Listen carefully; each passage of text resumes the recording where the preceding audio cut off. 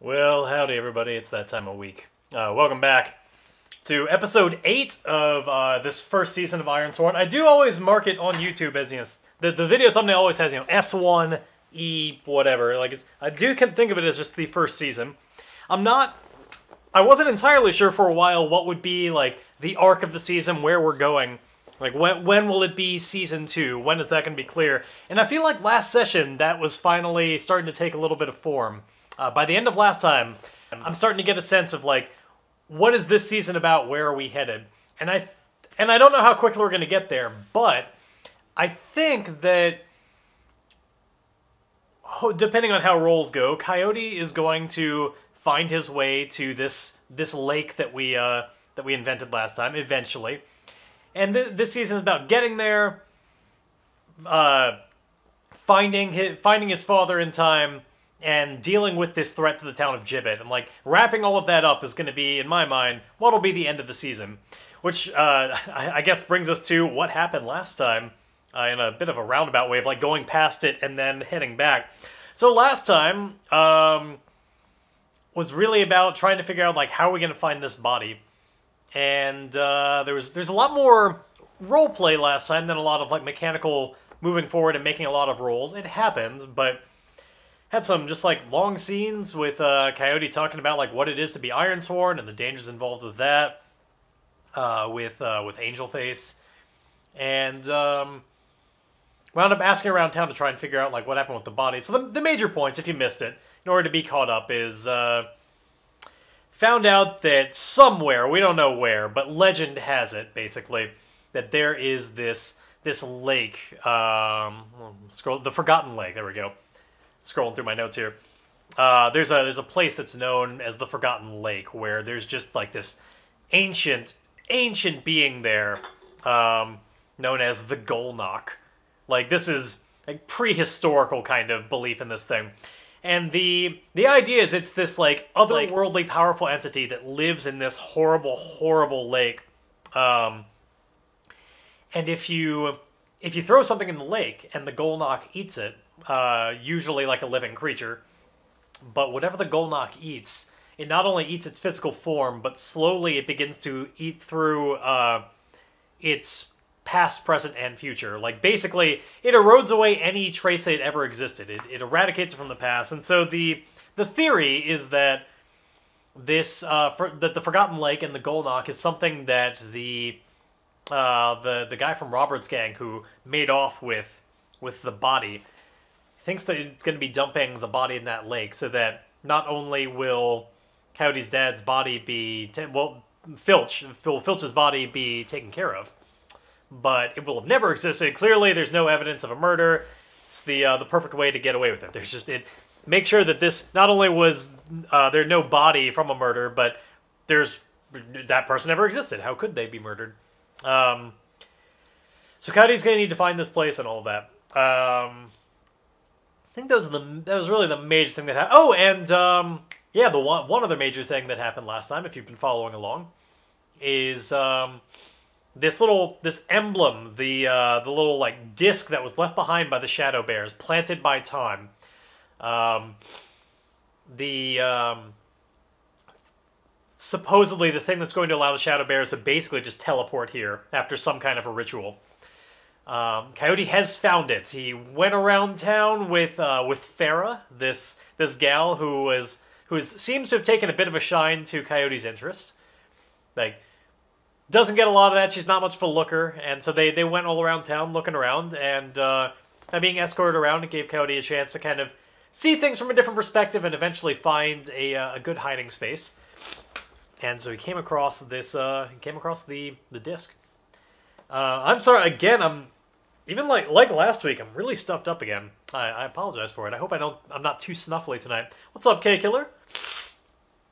Just my this time of year has been making my allergies worse and everything. I'm rubbing my eyes a lot because I just put my contacts in and just allergies all over.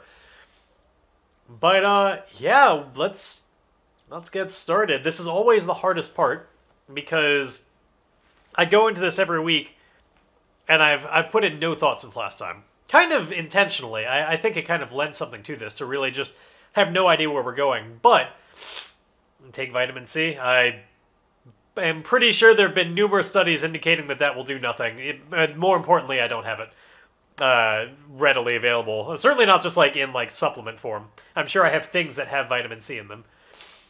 But but yes, I, I would look into that because I'm I'm pretty sure it's been demonstrated that the claims that vitamin C would take care of colds and stuff like that are entirely fraudulent. In fact, there's a big lawsuit against Airborne for that. Yes, that is because of what is known as the placebo effect. But that's neither here here nor there.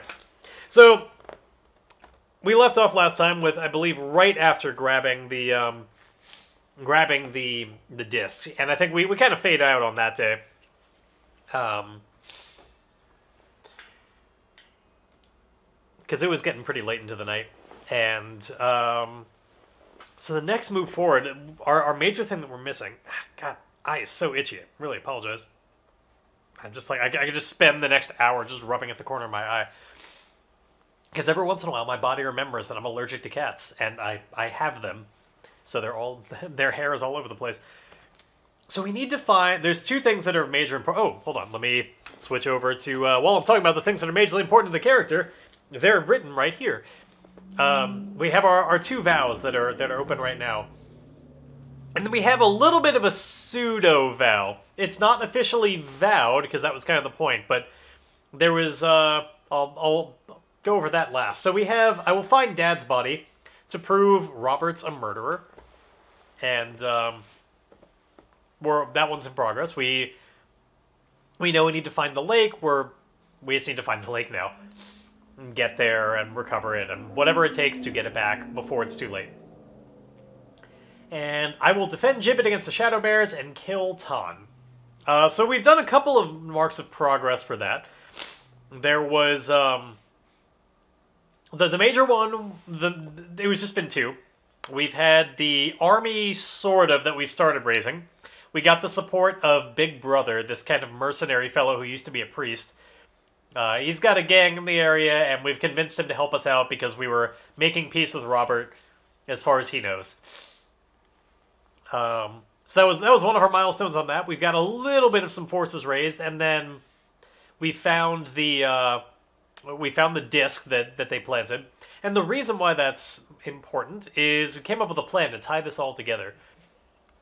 Where if there is this forgotten lake, where uh, where the Golnok will be able to just devour things and make them have never existed, as long as we're fighting it anyway, all we have to do is pitch the disc into that lake they uh, they summon themselves forth, get devoured by the Golnok, and then, hey, no Shadow Bears ever existed. It was never a problem.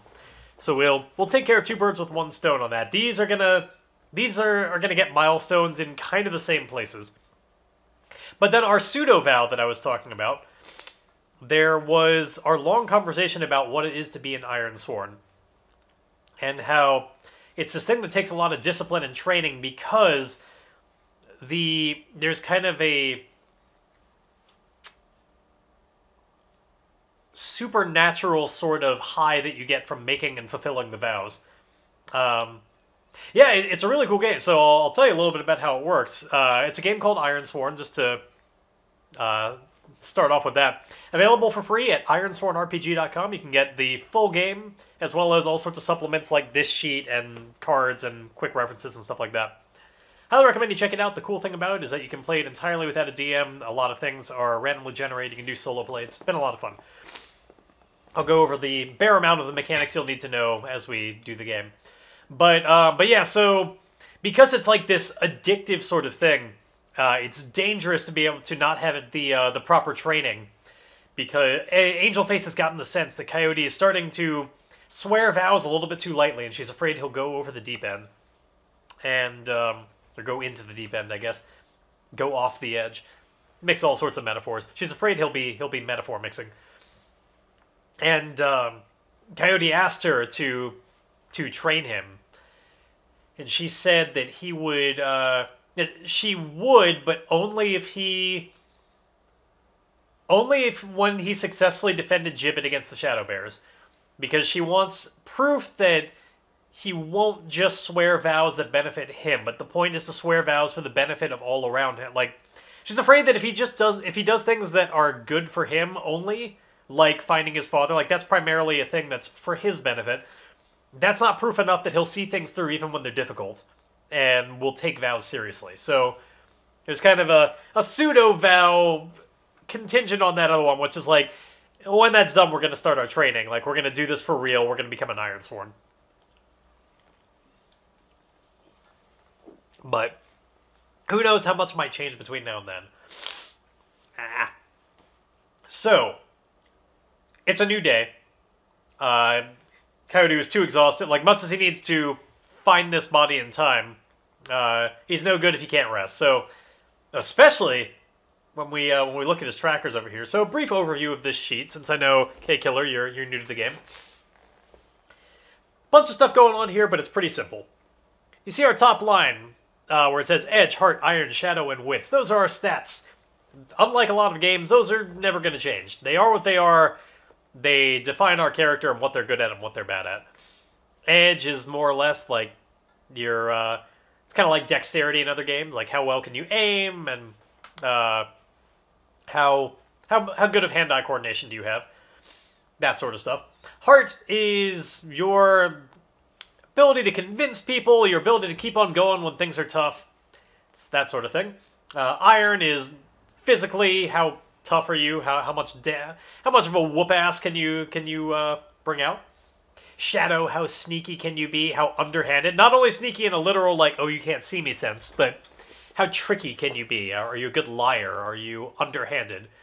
And uh, as you can probably see from way over on the left, uh, yes, we're, we're a little bit of that. And then wits, how aware are you of your world? Um, uh, I'm in Pacific time, so it is it is 8:12 where I am. Uh, so those are our stats. They're not going to change. Um, we have assets over there on the left. They allow us to do some special stuff in certain circumstances. Um, you can read what they are. But the uh, the little vertical strips that you see on the sheet, the we got the one all the way on the left, which is our momentum tracker. Uh, what you need to know for now is the higher that is, the better. Right now, it's not great.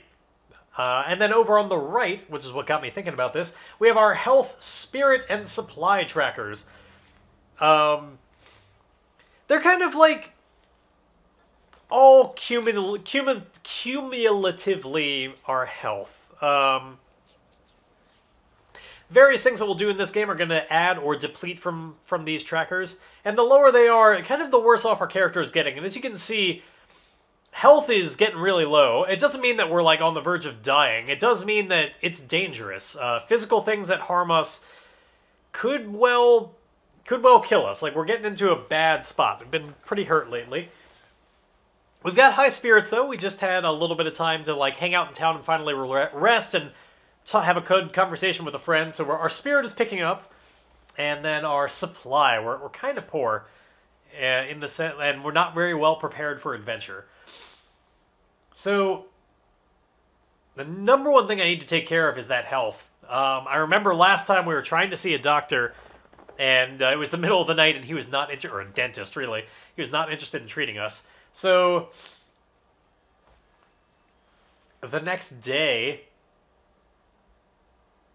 uh, I guess we can we can start off with just doing that. Like we'll we'll fade in on uh, Coyote in the in the kind of the dentist's office, and uh, we'll just uh, I was gonna say we'll assume that he agreed to to treat him.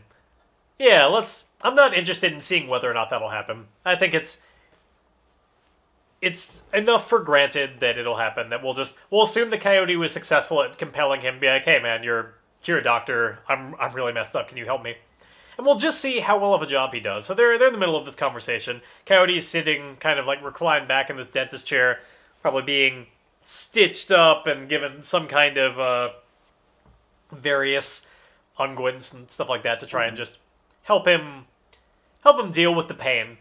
Um, while while Chops, the dentist that he had talked to, is uh, had a drunken night with one time is kind of grousing over his lost sleep and how uh, Coyote was banging on his door at like 11 o'clock at night. And yeah, uh, Chops in, in the middle of just like pulling a, uh, a stitch tight. You know, Coyote, I would uh, appreciate it if from now on you kept our dealings to business hours. ha, yeah, yeah, no, I, I got it. I'm, I, I'm, I must have misinterpreted. You know, I, I thought we had a, I, th- I thought we had a little. You know, we shared that drink the one night, I, I stepped over the line. I, I thought we had more. I thought we were maybe a little bit closer than you saw, and that, that's that's my fault. I apologize. We did indeed have a night of camaraderie, but then you left. You left Coyote, and we came to an agreement.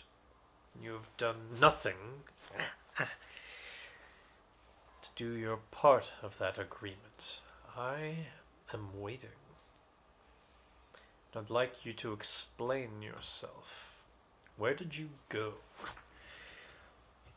Why have you been putting me off? Coyote um, wants to try and settle Chops down a little bit and let him know, like, hey, man, I'm, look, I'm in the middle of it. I haven't given up. I didn't mean to skip town for so long. I, I just, um, I got in a bad situation. I mean, look at me. I couldn't do it right away, but it's still in progress. We're gonna take down Robert. In fact, I got all the more reason to do it now. Before, it was about framing Robert for murder. Well, something fell in your lap, and, well, fell in my lap too, but it's not nearly as nice. Robert is a murderer. Yeah. I watched him kill my dad right in front of me. Not two days ago.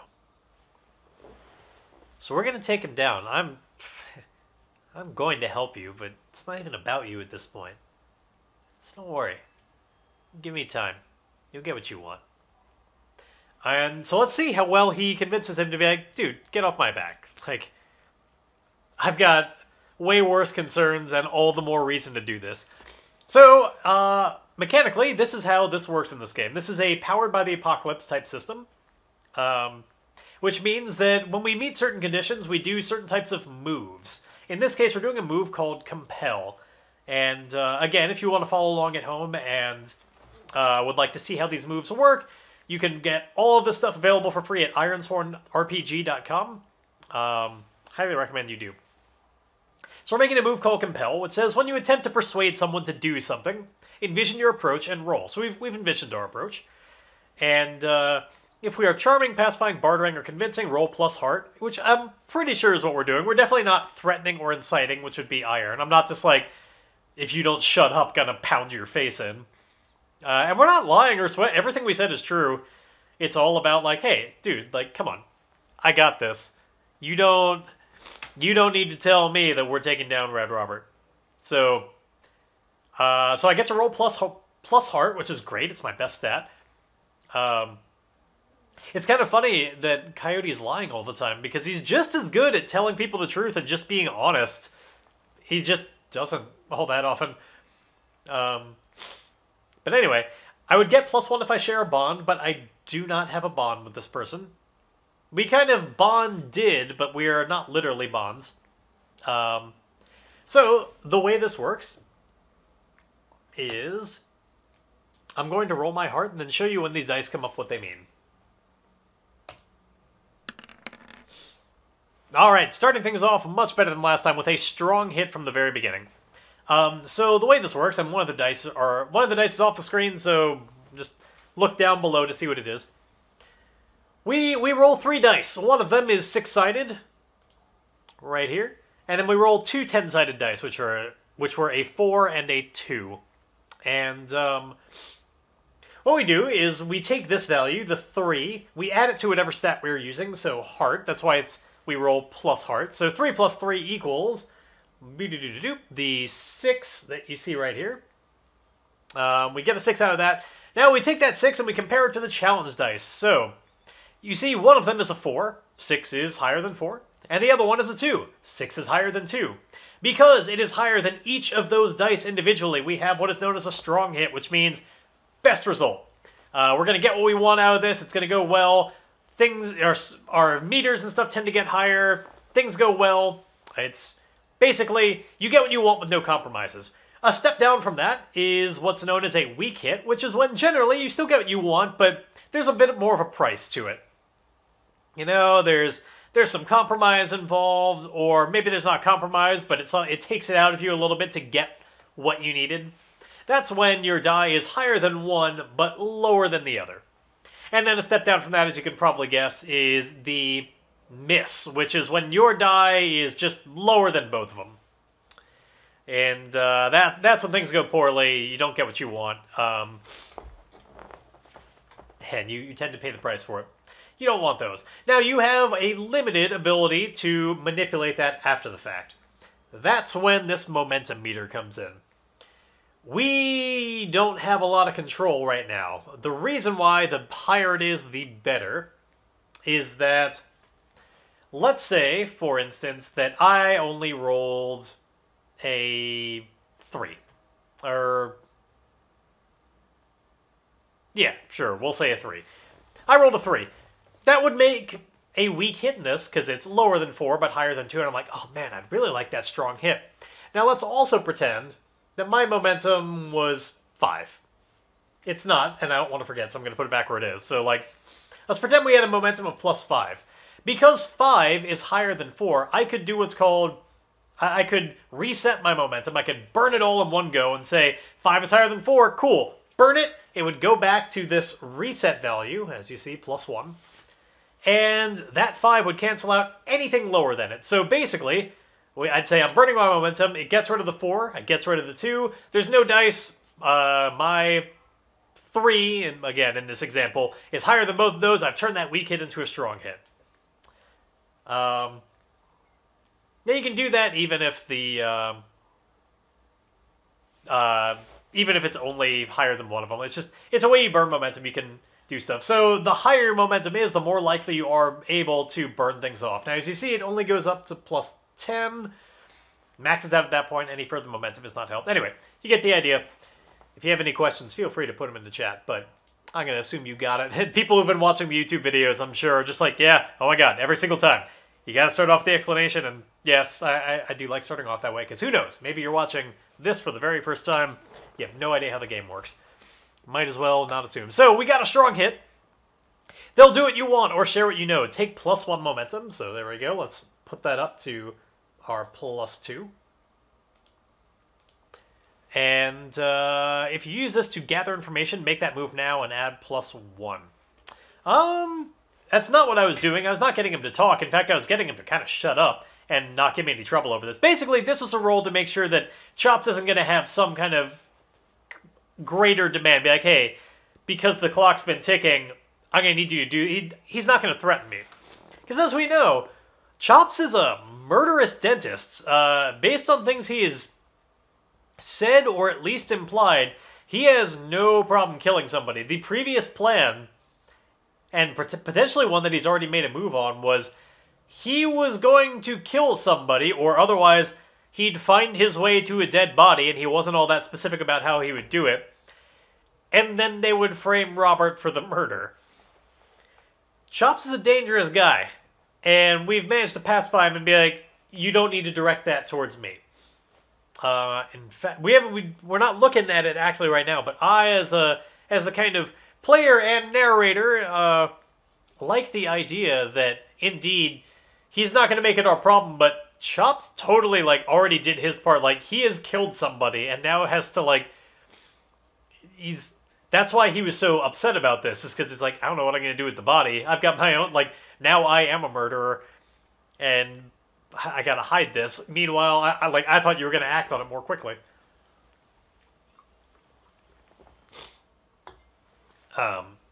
So anyway, let's see how well Chops heals him because he's he's been pacified Chops is going to make the, um, what is it here? The, I gotta scroll up in my moves list.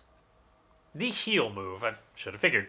When you treat an injury or an ailment. Now, ordinarily, these are things that I would just, I would have my character do them. But in this case, Coyote is no healer. He's not going to be good at healing himself uh, or anybody else. But that's why he has friends who can do some of the hard stuff for him, as long as he keeps him happy. And he, I think he's indeed kept him happy. So let's see all those stitch pulls that uh, he was doing, how well they, they come out.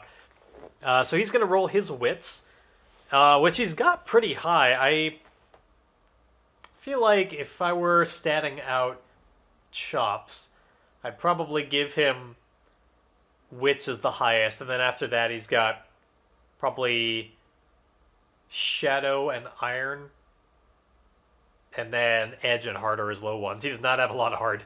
He's not great at making people like him. Um, and he's not all that just like nimble. So yeah, uh, he's gonna roll his wits with a plus three and see see what happens. Can we get Coyote a little bit more healed up? It'd be nice because right now he is he is hurting. No, apparently he's still just a little distracted by all of this. Uh, like his his being upset at Coyote uh, has got him, and maybe the lost sleep from last night. We indeed have a miss. Our momentum is way too low to do anything about it. Because not only did we roll low on our action die, we rolled really high on the uh, challenge dice, and yeah. So a miss. Your aid is ineffective. Pay the price. Um, yeah, so we have a botched healing job. Um, maybe intentionally, maybe not, but at the very least, I doubt Chops cares all that much. So paying the price for a botched healing job, I, uh... Now we could certainly just make him endure harm. That would be the simplest, uh, simplest result of all this, where it's just like, hey, you know, you, uh, it hurts you more. And I think that could be part of it. But I'd like to do something a little bit more interesting than that. Because we were talking about how he's using various like unguents and stuff. Um, can we get kind of a little bit of a turn on this that leads us in a direction? Now, when I need some inspiration on stuff like that, we've got various oracles here. And uh, I've got a drop down that you can't see.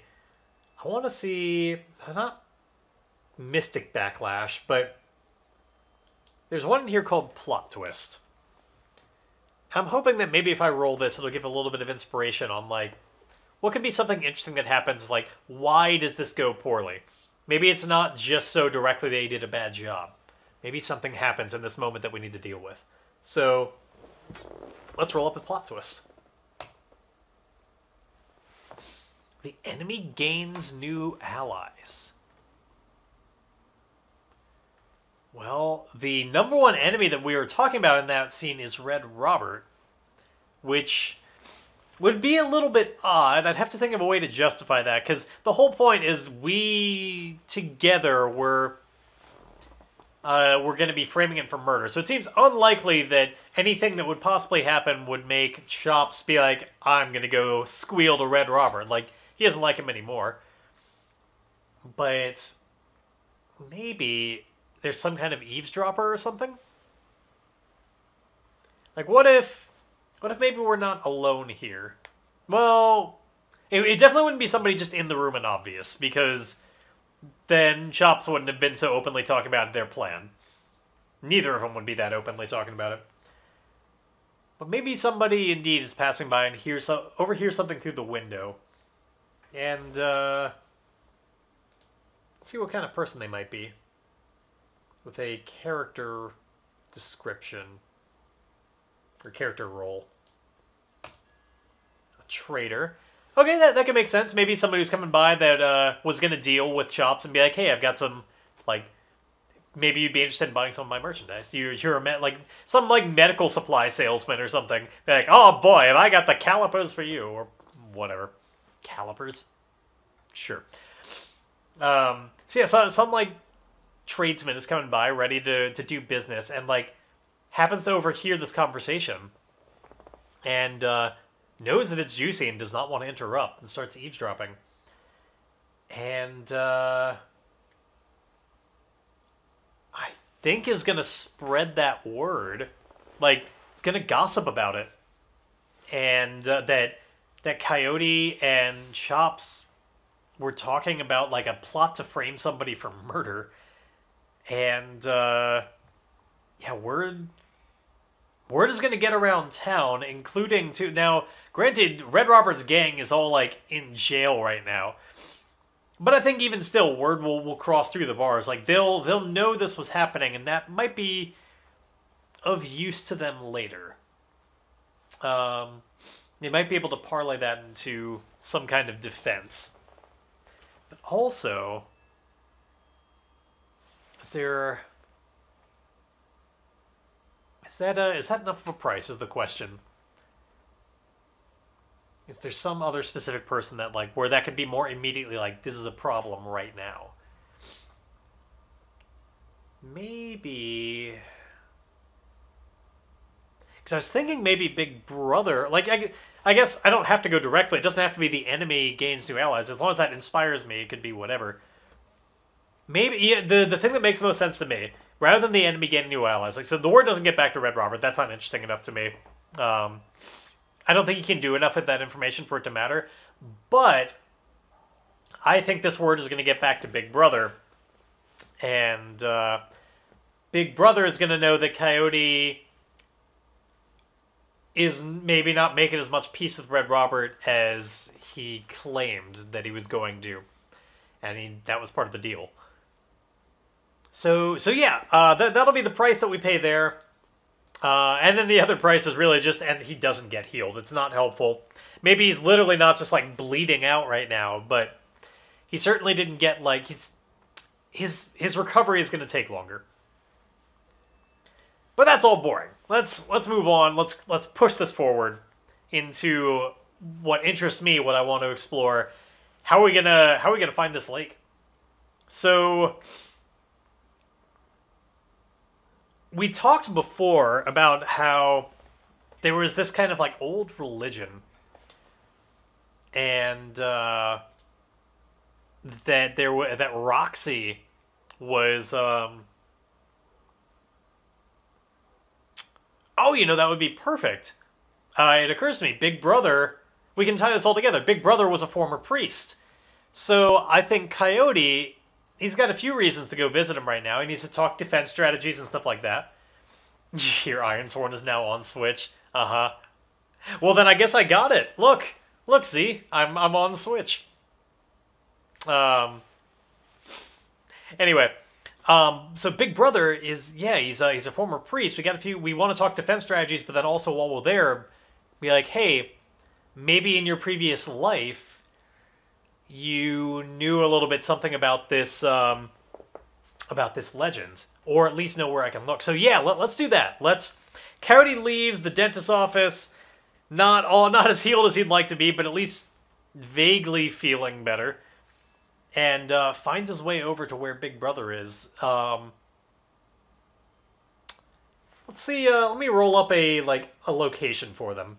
I don't know, or uh, as usual, if you have any ideas about like where this should be, I don't want it to just be like, eh, they meet in a bar. We we do that a lot, but I want to, unless we randomly determine that, I want a location of where they'd be, uh, where they'd be having a conversation. Where this guy is a uh, a leader of some mercenaries,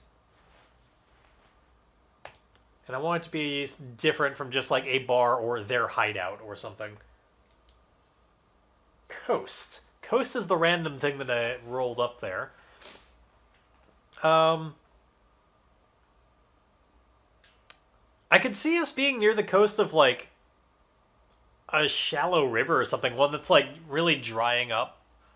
Um, yeah, maybe they keep like because they they travel around. Maybe they they've got some some people that are going to be coming in from uh, from upriver, and uh, yeah, because Coyote asked him to um, to help help with defense and defense, and Big Brother's on progress. So yeah, they're like they're waiting by the coast of this river because uh, some of these some of these other people are going to be coming by uh, any moment now, and uh, Big Brother and Big Brother's going to help them unload, and then we'll be able to to talk defense, and Coyote will be able to and say everything that he needs to that he can about like what what they're going to be facing. Um, so like both standing side by side, sort of looking down looking down the river, just seeing if they can see anything. There's a lot of silence. Um, and just the lapping of water. But eventually, uh, eventually, Coyote says to him, "So, uh, how how how many are coming?" Well, I sent the word out that we're going to need people to return home, and I guess the number that comes is going to be an indication of how much they still see me as their leader. We'll find out together, won't we? I'd like to say a fair number, and I'm hoping for several dozen. We'll see. Oh, good, good. And uh, if they're, if if they don't see you so much as uh, the leader anymore, well, if they don't, probably still be four dozen, but four dozen minus one by the time it's all done. Ah, yeah, I uh, gotcha. So, why why is uh why is that in question? Why, I I was under the impression that when I, when I asked for the for your help, I don't know. I thought maybe you were a little bit closer to them than. First of all, I thought they were more in town, but no, we we go our separate ways from time to time and kind of have parts of us here and parts of us there. It's only in big moments like this when we gather all of us together in one place. And distance apart can can make the relationship frayed. It happens. I don't really hold it in contempt or anything, but you never know. It has been a while. Right. I was hoping you could, uh, hoping you might help me with, uh, something kind of related, but mostly not. Well, is it related or is it not? It's, uh, I hope to make it related. I'll, I'll put it there. You led a life before you became, uh, you. I've always been me. Yeah, but you, you know what I mean. When you were a, uh, different sort of leader. I forgot if, do we have a, uh, a name for this religion real, real quick? Um, I don't think we do. Yeah. Nothing about that. Yeah, we just there there just is this religion that some people are following, um, but we don't have a name for it. So I'm sure uh, Coyote would say would use some relevant word. Uh, you wouldn't be skirting around the issue entirely. That's just me skirting around it because I don't know what to say, oh, what to call it yet. Um, when you were when when you were a leader, did you ever hear about a place called the um, the Forgotten Lake? Oh, no, certainly it comes up. Why I would have imagined that you would, you of all people, would consider it more of a tall tale or metaphor at best. I guess I'm hoping right now. You ever talk to somebody that, uh, you ever talk to somebody that has just so much faith that it kind of shakes your own lack of faith? You see in their eyes, and there's just so much conviction that it, it shakes your own disbelief. I'd say that I've my path in life has gone a little bit more in the opposite direction. I mean, look at me. Really? Well, lack of faith? Uh, I mean, in fairness, I don't know you that well, but I I never got the impression that that was the problem, you know? I thought that maybe your uh, your fall from grace, if you will, was differently motivated. I'd rather not talk about it. Yeah, all right. I, I, but but anyway, what what do you know about the Forgotten Lake? Um, and then Big Brother gives him a little bit of a cold shoulder and just goes, "I will." Says that could be a rather long discussion, and I think I see them coming soon. Let's not get into it. Coyote needs to like get him to open up a little bit. I think what we're seeing right now is that indeed this information has spread to him a little bit, and he knows that Coyote is kind of gone back on their word, and he's a little disappointed in him. Like he's not actively just like I'm going to be hostile to you now, but is upset that Coyote seems to be just it's a kind of a one directional relationship right now is the way he feels. Um and doesn't especially appreciate that. So is being a little bit withholding. And we're gonna see if Coyote can get him to open up and be like, "What? Nah, there's I I I just need a. It's it's nothing all all that much, but you could really could really help me out. Come on, I, but what what could it take? A minute? Um, you're you're good at this. Well, we're gonna see if we can get him to open up. We're gonna use a second compel move. And uh, this, it's again, it's with heart. He's not really lying or anything. Just being, yeah, come on, we're we're buddies. We can do this. I'm trying to remember. I think we did indeed make this guy our third bond. I think. Because we start off the game with three, and in this case, I didn't assign any of them except for my dad. I had dad, who is dead. Um, we had Angel Face, and now we I, we had a third slot, and I can't remember if I actually made him a bond or not. I'm going to assume I did, and uh, if not, he is now. So he's one of my bonds. We're, we're rolling heart, we're adding a plus one because we do share a bond. And uh, we're going to see if we can get him to just be like, hey, the, the goal of this is get him to open up, tell me about this, uh, tell me about the Forgotten Lake. And uh, let's see how this goes. Strong hit. There we go. Just barely, but we got the strong hit. That's that's that's what you get when you use your highest stat with a um, uh, with a plus one. Okay, now I think we can start getting this to take off a little bit more. I know this has been a little bit of a slow start to this session, but kind of rolling with it and figure out how we're going to get this going. So on a strong hit, we get our plus one momentum, so build that up a little bit more. And uh, we are indeed this time using it to make a gather information. So make that move now and add a plus one. So the gather information is basically tell me everything you know about like where I can find like how can I find the Forgotten Lake? Let let me know what you know about it. I need to find this place. If it's real, even if it's not, I need to know where somebody would search for it.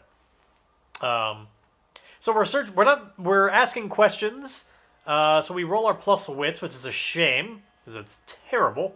But uh, we are indeed asking it of a person where we with whom we share a bond, so we add the plus one. Now we are not investigating a devious scheme because it's not about where would somebody hide a body this time. Like, yes, we are doing it so we can find where somebody's going to throw a body, but that's not what the question is. It's about like, hey, you're a man of this religion. What does this religion say about this place? So it's it's we don't get to use that trickster ability, but the plus one we just got from that uh, compel will help us here. Hopefully, let's see.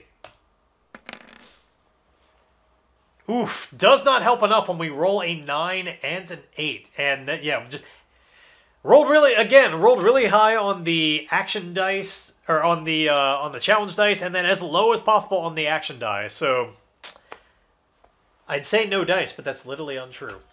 We have a miss on gather information. So, on a miss, your investigation unearths a dire threat or reveals an unwelcome truth that undermines your quest.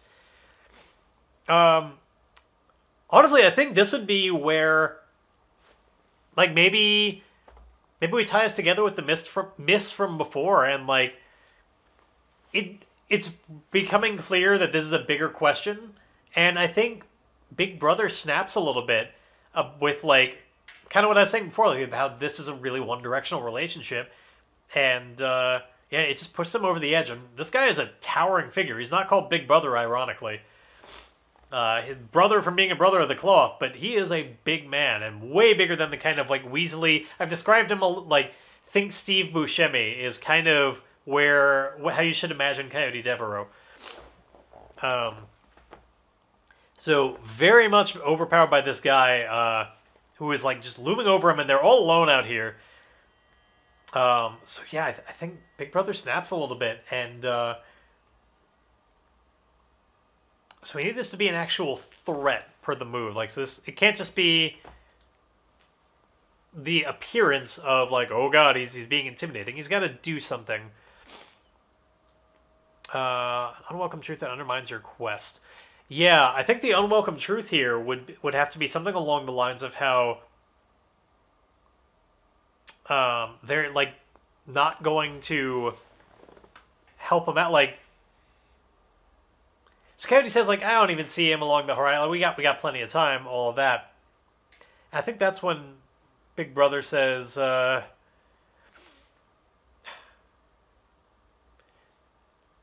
You're always at, you're always asking questions, Coyote, and always asking things from me. Get my people to help me. Tell me about your past. Tell me about the Forgotten Lake. Well, you know what? Friendship goes in two directions. You can't always just be taking from me and acting like it's okay. The worst part about it is you don't even seem to notice that you're doing it. It just you're selfish, Coyote. And if you I heard no problem, Z. I know about your plans with Robert. Don't even try. Like Coyote has a, like a instinctive attempt to deny it. It's like, don't. Just don't, Coyote.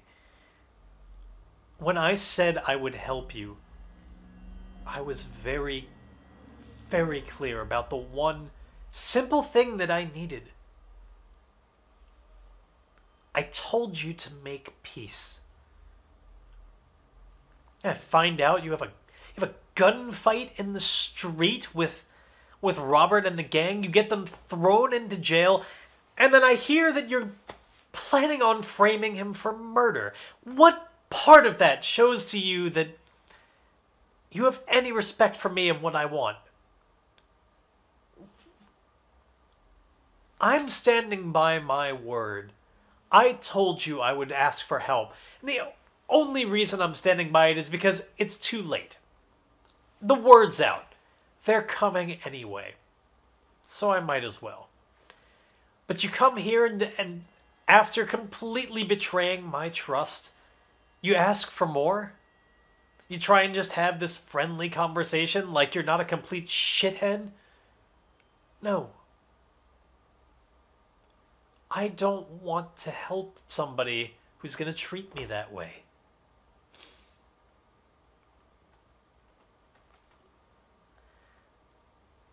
There's things you don't know. Yeah, I. I lied. I've lied a bunch of times, but I lied that day.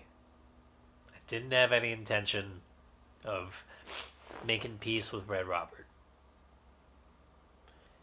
But you want to know why? First, I gotta ask you why are you more willing to be friends with a person like him? What? Why can he? Why can he be the type of person he is, and you're okay with it, and I can't be the type of person I am? Do you have any idea the type of things he gets up to? Do you have any idea what he's just done? Welcome, General Kenobi. Do you have any idea what he's. why I'm so after him? Why I'm not going to apologize for anything I've done? It's a lot of questions there. Which one do you want me to answer first? I don't know. Let's just start with why. Why does he get a pass and I don't? We go back. How far back did the two of y'all go? He doesn't get a pass. He. Our relationship is different. It's more upfront. I know he's not a good person. I don't demand that. Do you think all the people who are coming in from the river are good people? Would you have asked for them if they were? No. I deal with bad people, but they don't pretend to be something else. That's where you. That's where I have a problem with you, Coyote. I. If you're gonna be. Just be honest with who you are to me. I can't have it any other way. The fact that we go back so far just makes it worse. We are friends. That's why I expect more from you. It's not a betrayal if there you don't have that level of trust and care to begin with. But what? What do I not know? Why why is it okay? Why why are you not going to go back on any of your choices with Red Robert? You were saying? The reason I want to find out about the Forgotten Lake is because one of Robert's crew, I'm sure you saw, not all of them are in jail. You know the guy who's missing. Insert nameless name. We, we don't know his name because they're all just a bunch of mooks. I'm sure you noticed somebody was missing. You know where he's going? He's gonna find that Forgotten Lake. You know why? Why would I know any of this? Get to the point. The reason he's going to the Forgotten Lake is because Robert killed my father. And fearing for what's going to happen if anybody finds out, his buddy is taking my dad's body to the Forgotten Lake so he can get rid of the evidence. How do you how do you know any of them? Or no, he probably wouldn't say that. He just heard that uh, his father was murdered, so I'm pretty sure you'd have at least be at least a little bit taken aback from that. Or Willie, we haven't rolled in a little while. We could do another compel out of this to just turn this into like, how well are these words going to soften him up a little bit more and just be like, hey, dude, it's, I'm sorry, but, or is that kind of invalidating what we already did? Yeah. No, I, I think he's a little bit too angry right now. Um, that that previous miss, I don't want to just override it with nothing. Um, yeah, I, I think he's he's just gonna be just coyote. Stop. Stop spinning all of these lies and just trying to get out of a bad situation by making it more complicated. I don't believe you. I don't know that I would have believed this even if I hadn't caught you in your previous life. It, it's absolutely ludicrous. When my friends get here, my friends, when my band gets here, we'll talk strategy. But then I want you to go.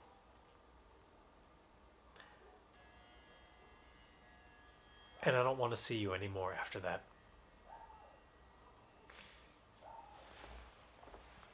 We'll be done.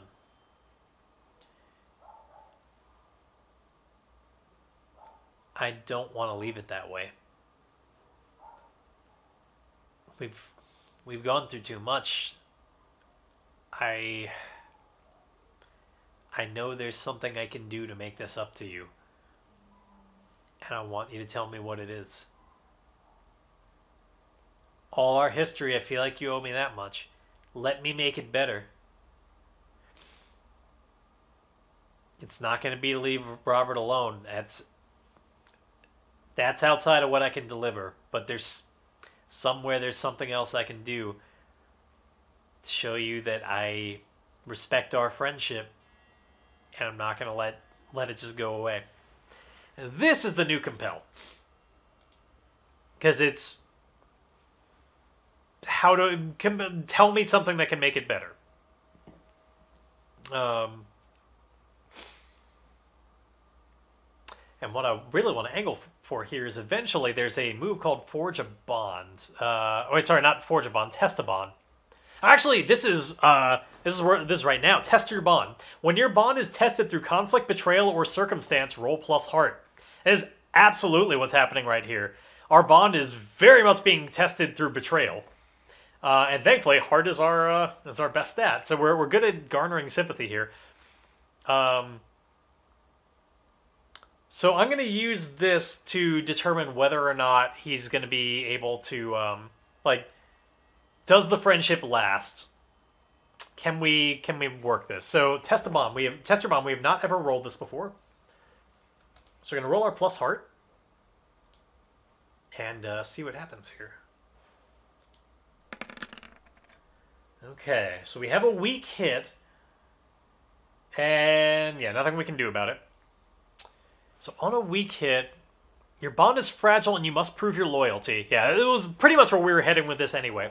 Envision what they ask of you. This is perfect. This goes along with the fiction we were setting up. Uh, and do it, or swear an iron vow. If you refuse or fail, clear the bonds and pay the price. Alright, so our bond is on the line for this, which is absolutely what's happening here. Um, however, I'm not sure what he'd be asking for, because remember, the make peace with Red Robert is off the table. Coyote is very much uh, that is that I can't do for you, but there is something. We didn't get a miss. The bond doesn't immediately break. Because that would be they have no interest in maintaining the friendship, clear the bond, pay the price. Like, that would happen right away. There's some spark left over in Big Brother that's, uh, that also wants Coyote to be able to make it better. He needs Coyote to make it better, but he does want success. We need an oracle for this, or inspiration from chat, but y'all are like my secondary oracle. So, character goal, we could certainly roll that to find out something else that's important to Big Brother. Now, I do have a little something in mind for Big Brother, but while relevant, it wouldn't make sense for this. Um, I've always, basically, I've always had the idea that part of the reason why Brother is so hurt in this is that there's a this this bromance has a little bit of you know romance to it as well. Uh, I think it's I don't know if it goes both ways. Uh, in in the sense that I don't know if it's reciprocated or not. I think that at the very least, Big Brother feels more strongly about Coyote than Coyote does about Big Brother. But there's a little bit of romantic background to them. They may have explored it a little bit in the past. I don't think it's going to be related to what he needs from Coyote, though, because he, he doesn't trust him. So why would he be like, you know, be my boyfriend, then it'll all be better? No, you don't ask that of somebody when it's all about you need to find, you need to prove that I can trust you. But let's see, there's something else that's important to him. To prove worthiness. Great. Thanks, Oracle. That I'm trying to figure that out. I mean, I guess that mean he's trying to prove his own worthiness. Um,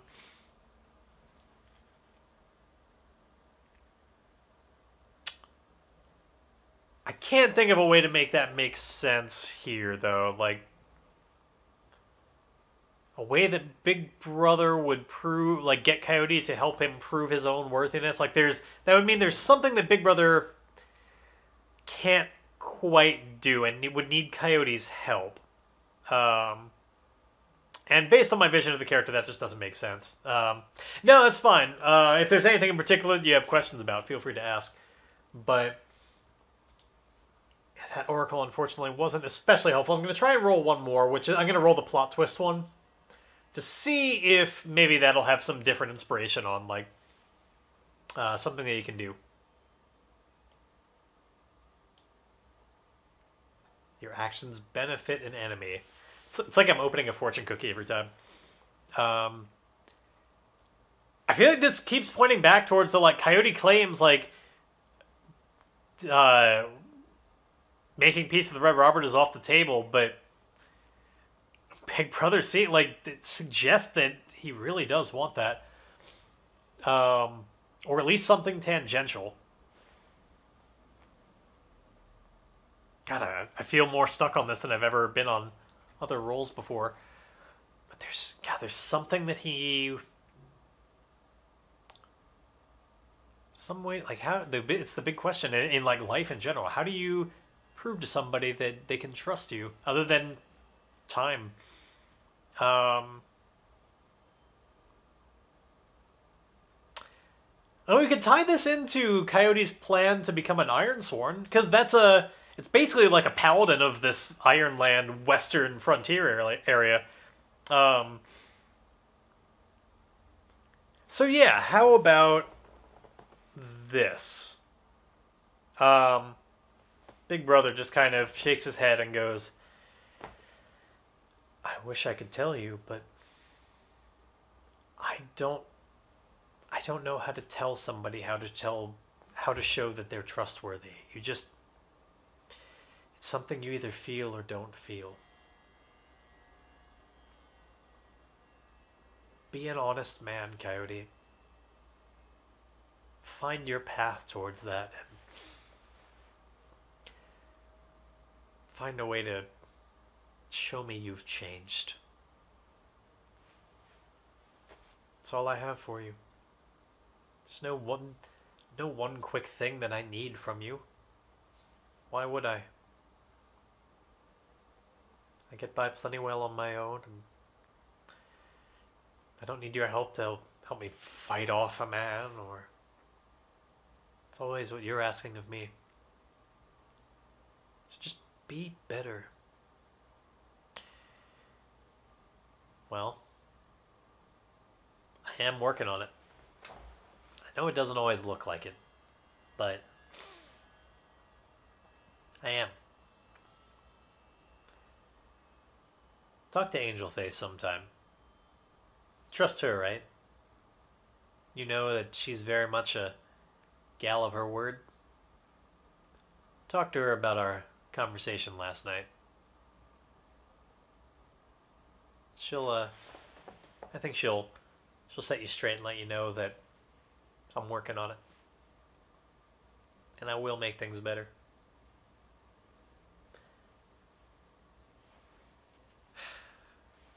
Fine. And then uh, I think the the kind of the the little boat comes in, or the probably series of boats come in with a little just like sea caravan of uh, these these other mercenaries in his group. They arrive and um, I want to I want at the very least one other just kind of major sort of like some major NPC with them. Uh, I don't want them to all just be like I'm not going to make every single one of them a character because Jesus, there's I, we talked about how there might be dozens of them. Um, but I want at the very least one other kind of like secondary leader that potentially is in a little bit of conflict with uh, with Big Brother because he had, he had reason to think that there's uh, that they might kind of split ways a little bit. So I'm gonna oracle that to get a character description. Somebody else that um, is of significance coming on these boats. Uh, yeah, so it's uh, it's an RPG called Ironsworn, and we're we're using it to to craft a story in a sense. Sick. Oh no, that would be actually really interesting for the whole group. Um, yeah, okay. So the group arrives, but there's been like some sickness spreading with them. So like that would be a good thing to have to take care of for this next kind of step along the way at defending Gibbet against the Shadow Bears is sure, all reinforcements have arrived. They are filled with the plague. Um I don't think they have like the plague from back east because we talked about that in the very beginning how there's just like this horrible sickness in the cities uh, that is the reason why people came out here they're, they're escaping from that they don't have that oh if only because i don't think they we have a good enough cure for it um, and i don't want it to be simple enough to to figure out a cure for it oh cool yeah that uh i'm sure that that must be fun kenobi um, but they have some bad sickness. They are clearly not in fighting shape right now. It's something they'll get over, but maybe not quickly enough. Um, and so there's just like this this person comes out just utterly covered in like these sores and like oozing like nodules on his face and stuff and has this horrible hacking cough uh, as he like stays on the boat. He's like calling out from the boat and uh, as they like stop and reach the dock and uh, just goes like Stay back. Stay back. that, now all my snuffling will make sense You don't want to. You don't want to catch what we've got. Oh God. oh my god what what happened There was a. Some of our supplies, I think, got a little bit tainted. but we're here. How long? How long do you have before we gotta be in fighting shape? I don't know. I, I, I don't know. It could come any day now. What do you, what do you have? Um, the the guy whose name we don't have just says, uh, I don't know. Nobody here is a doctor, but it's something bad. and uh, he just like runs over and starts like runs to the other side of the boat and just starts vomiting over the other side. Just go, kind of goes, huh? Uh, that was not quite what I was hoping for. I'll be back.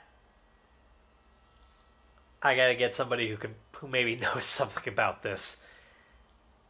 Because I'm pretty sure I can fight better than they can right now. Uh, I'll be back. And he like runs off, and it's like, uh, it's just like, ugh, God, because whatever it was out there was just utterly disturbing. Just like, and as I mentioned, like leaky kind of nodules and stuff. Uh, it looks very contagious. And uh, yeah, Coyote's gonna need to get a doctor for them to at least diagnose like how do we take care of this. Um,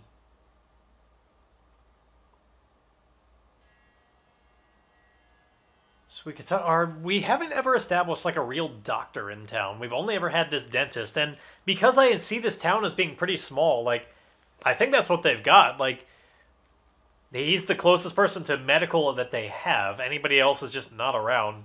Uh, you'd have to go like the next town over. Um, but Coyote's going to go back to Chops's place and see if he can convince him to be like, hey, there's some people that are looking really bad. Maybe you, in fact, I think we just see him right now. Like, it's just like hat in hand, just like, look, I'm trying not to push my luck, but this actually isn't so much for me as there's a some stuff I don't want to spread into town, and uh, there's some people who just came on the boat that they're looking pretty sick. I was hoping maybe you'd uh, be able to identify what the hell's wrong with them. It looks pretty bad. I mean, I mean, really bad. You have a moment? Uh, we're gonna roll a compel to see can Coyote get Chops to just go down and check out, uh, check them out, give his medical opinion on what might be wrong with them, and uh, let's see. Making a heart roll. Hey, there we go. A strong hit. So it goes goes well. We're, we're doing well on the compels. It's usually what happens afterwards that doesn't go so well. So we build our momentum once more. Get, we still get that plus one. He will do what we want. Apparently, uh, the apparently what we were saying earlier about the uh, how like we we've got all the more reason to like Robert's actually a murderer. Like he's he's indeed been pacified, and I guess his the doctor in him knows like he's got a responsibility, and also does not want things spreading in town. So yeah, he'll he'll do what I want. So we like it's a real quick thing. Like if we were watching this on TV, that would have been just like one shot. I'm just like, eh, it's just on Coyote the whole time, and then we cut back to the docks, and Chops is there this time. And uh, he he he like is approaching, and the I think he's he's he's got like some kind of bag with him or something, and uh, Big Brother walks up and and tells him like, I wouldn't go much further if I were you. They're I've never seen anything quite like it. Well, it's part of the job. I have protection. He like puts on some kind of mask or something. Actually, I don't even know if they have like a full on masks or just like he just covers his mouth with like a rag or something. And uh, I have the proper protections. The only way I can help them is if I see. And uh, he'll like go to the boat, and I'm not gonna like have him roll or anything. I just he he will diagnose what's necessary. He'll he'll find a way. He'll figure it out. And uh, because I don't want this game to just be like, okay, then we ask this person to diagnose them, then I want this person, like just whatever. They Chops will figure it out. He'll come back and report. Uh, let's see, what what could they have? It seems it sounds like based on the way I was playing him, it's some kind of horrible like it definitely gets inside your lungs and like it's some kind of breathable thing. It talked about being from tainted supplies. Some kind of mold based thing makes sense to me that like bad food that just kind of spreads around and like releases some spores into the air. Um, it's like a, a bad kind of mold that then I think it like the nodules kind of like is the fungus then like blossoming like it grows in your skin and then releases a new like when it's ready kind of it, it leaks out a little bit constantly which is just because of your your body's like natural defenses against it. Like your your blood is trying to take care of the the uh this infection but then eventually if it's not treated in time it just it'll it'll release a new set, series of spores once they're germinated. And uh, it's kind of spreads from person to person. And so what would, what would we call this kind of like mold the uh i don't know just like the gray mold or something. Um just call it something like that. I think it's called that because like your, your skin also just becomes like really ashen and gray looking. Um yeah, well, he probably has some kind of fake Latin sounding uh, longer name for it, where it's like, uh, you know, they they they appear to have gone a gonocripulosophala, I don't know, but gonocripulosophala, but known known more colloquially as the gray mold. No doubt they were right. Some manner of their supplies must have been tainted and being in such a confined space, it is spread around. It's not actually too hard to keep it from spreading. However, when you're on a when you're on a small boat, it moves around rather easily. So, uh, what what what do we do to take care of it? Any of these guys and how long how long it take to? Sh- he's like just rattling off questions. What do we do to take care of it? I mean, how how long how long do we have? I, I need these guys in fighting shape as as quickly as possible. What what do you think the uh, what was what's the prog? Tell tell me about it. And uh, there's not really a direct move for the like. I could. It's not that he won't tell him, so I don't need to make it compel. It's more just like randomly determining what would need to be done. Now, of course, this is not the result of a miss or anything. This is all just the result of character description. So does, I don't think it needs to be that bad. I'm not making like an entire quest out of this. Um, I think it's it's it's just a quick milestone along the way where uh, let's see. I want to use another oracle to try and inspire like what sort of thing would take care of this. Um, I'm gonna roll Mystic Backlash. I'm not making. It's not gonna be a mystical type of thing. Not, but I'm hoping that maybe something in here might be more able to inspire kind of a like, oh, this sort of thing would treat it. I may be completely off base. I don't remember what's in all these generators.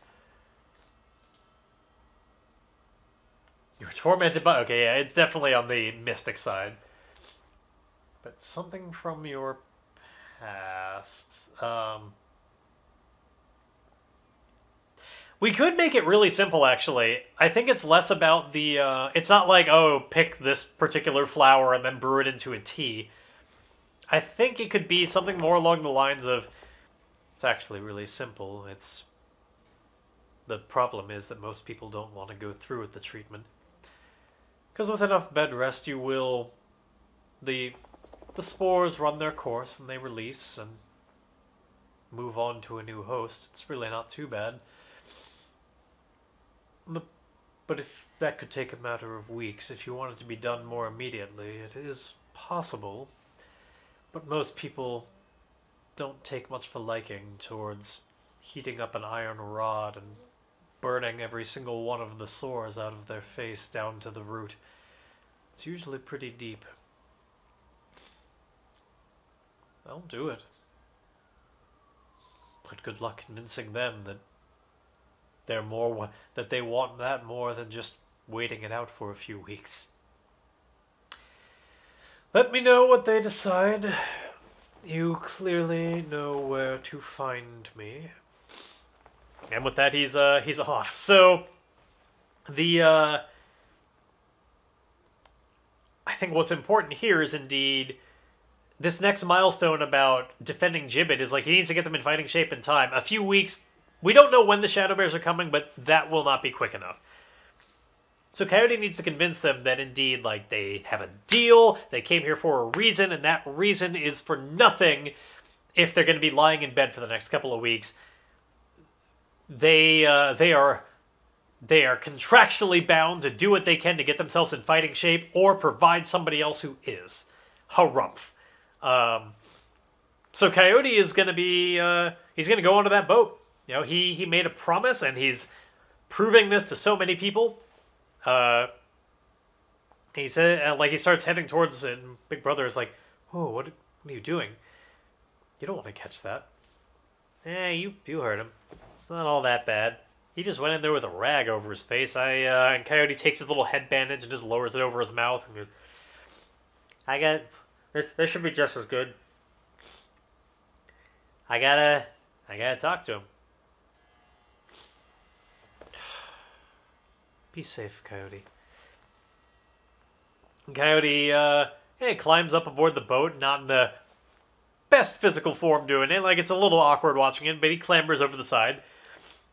And, uh, hey, hey, guys, is this the kind of, is this what I get when I ask for help from the, uh, from the blah blah blah gang? Who knows? I I never have names for anything. Um, some if anybody has a name for a uh, just a general just mercenary band kind of name um, nothing too flowery but uh, it wouldn't be run by any particular one person so it wouldn't be named after a person. Um, is this the kind of service i get when i call for you i needed help couple the doctor says that in a couple of weeks you'll be fine, but actually, no. Coyote, why would he why would he be honest with them about this? That does not seem like the best way to get them to agree to have hot pokers stuffed in their face. When he could just lie and say, Doc says this is what's necessary. I want to, like I wanted to warn you now, but you are I'm pretty sure that uh yeah, he's just gonna lie to him and just be like, so rather than take the tack of like you owe this, he'll he'll just say, So I just spoke to the doctor, and uh, well, he told me what y'all need. I'm afraid it's pretty serious. If you let those. yeah. What's up, Seawawa? Yeah, exactly. Uh, if you miss it, they basically got these horrible fungal sores that are uh, in their face that apparently, like, they'll, they'll be fine if they just rest them out, but the, the quick way is to burn them out at the root so that they can't spread and, blo- like, release their spores. Um, he literally just popped in. Yeah, so they do not. It is not necessary for this to happen, but uh, we're gonna lie and say that it is, because doctor says that uh, those all those sores that you got, all the nodules, they all got to be burned out. Otherwise, they're just gonna keep spreading. You're gonna go down, down, down. Thankfully, apparently, once that happens, you should recover pretty quickly. So, uh, what do you say? Come off this boat and come come get the treatment right now? And so basically, this role is going to be how much do they believe him, or do they get a sense that he's not being fully like forthright with them? There's more to this. So I'm gonna I'm gonna roll this compelled to be like, hey, let's go get this burned out right now, get you guys in fighting shape. And uh, it's going to be through lying or swindling, and we're gonna get our trickster uh, plus one for that. So Shadow with a plus one. Let's see. Do they do they believe? Are they going to come along and go get their sores burned out right away? We have a weak hit and one that we can't deal with with momentum. So uh, let's see. Weak hit as above. So we still got our plus one on momentum. Uh, they ask something of return and mention what they want. So it could well be something along the lines of how like yeah, doctors don't do this for free. We'll like we'll do it, but you're responsible for our treatment. We like basically, yeah, the the guy just goes, You know, we only got this coming to your beck and call. If I had just stayed home, none wouldn't have happened. It's the way I see it. You pay for our treatment.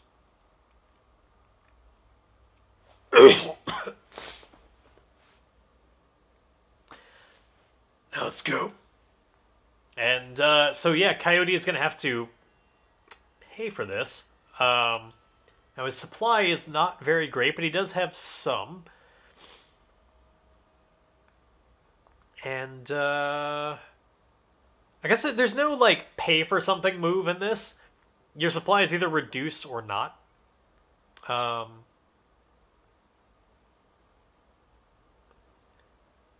but I think Coyote like he knows he's barely scraping by. I don't think he. I don't think it's.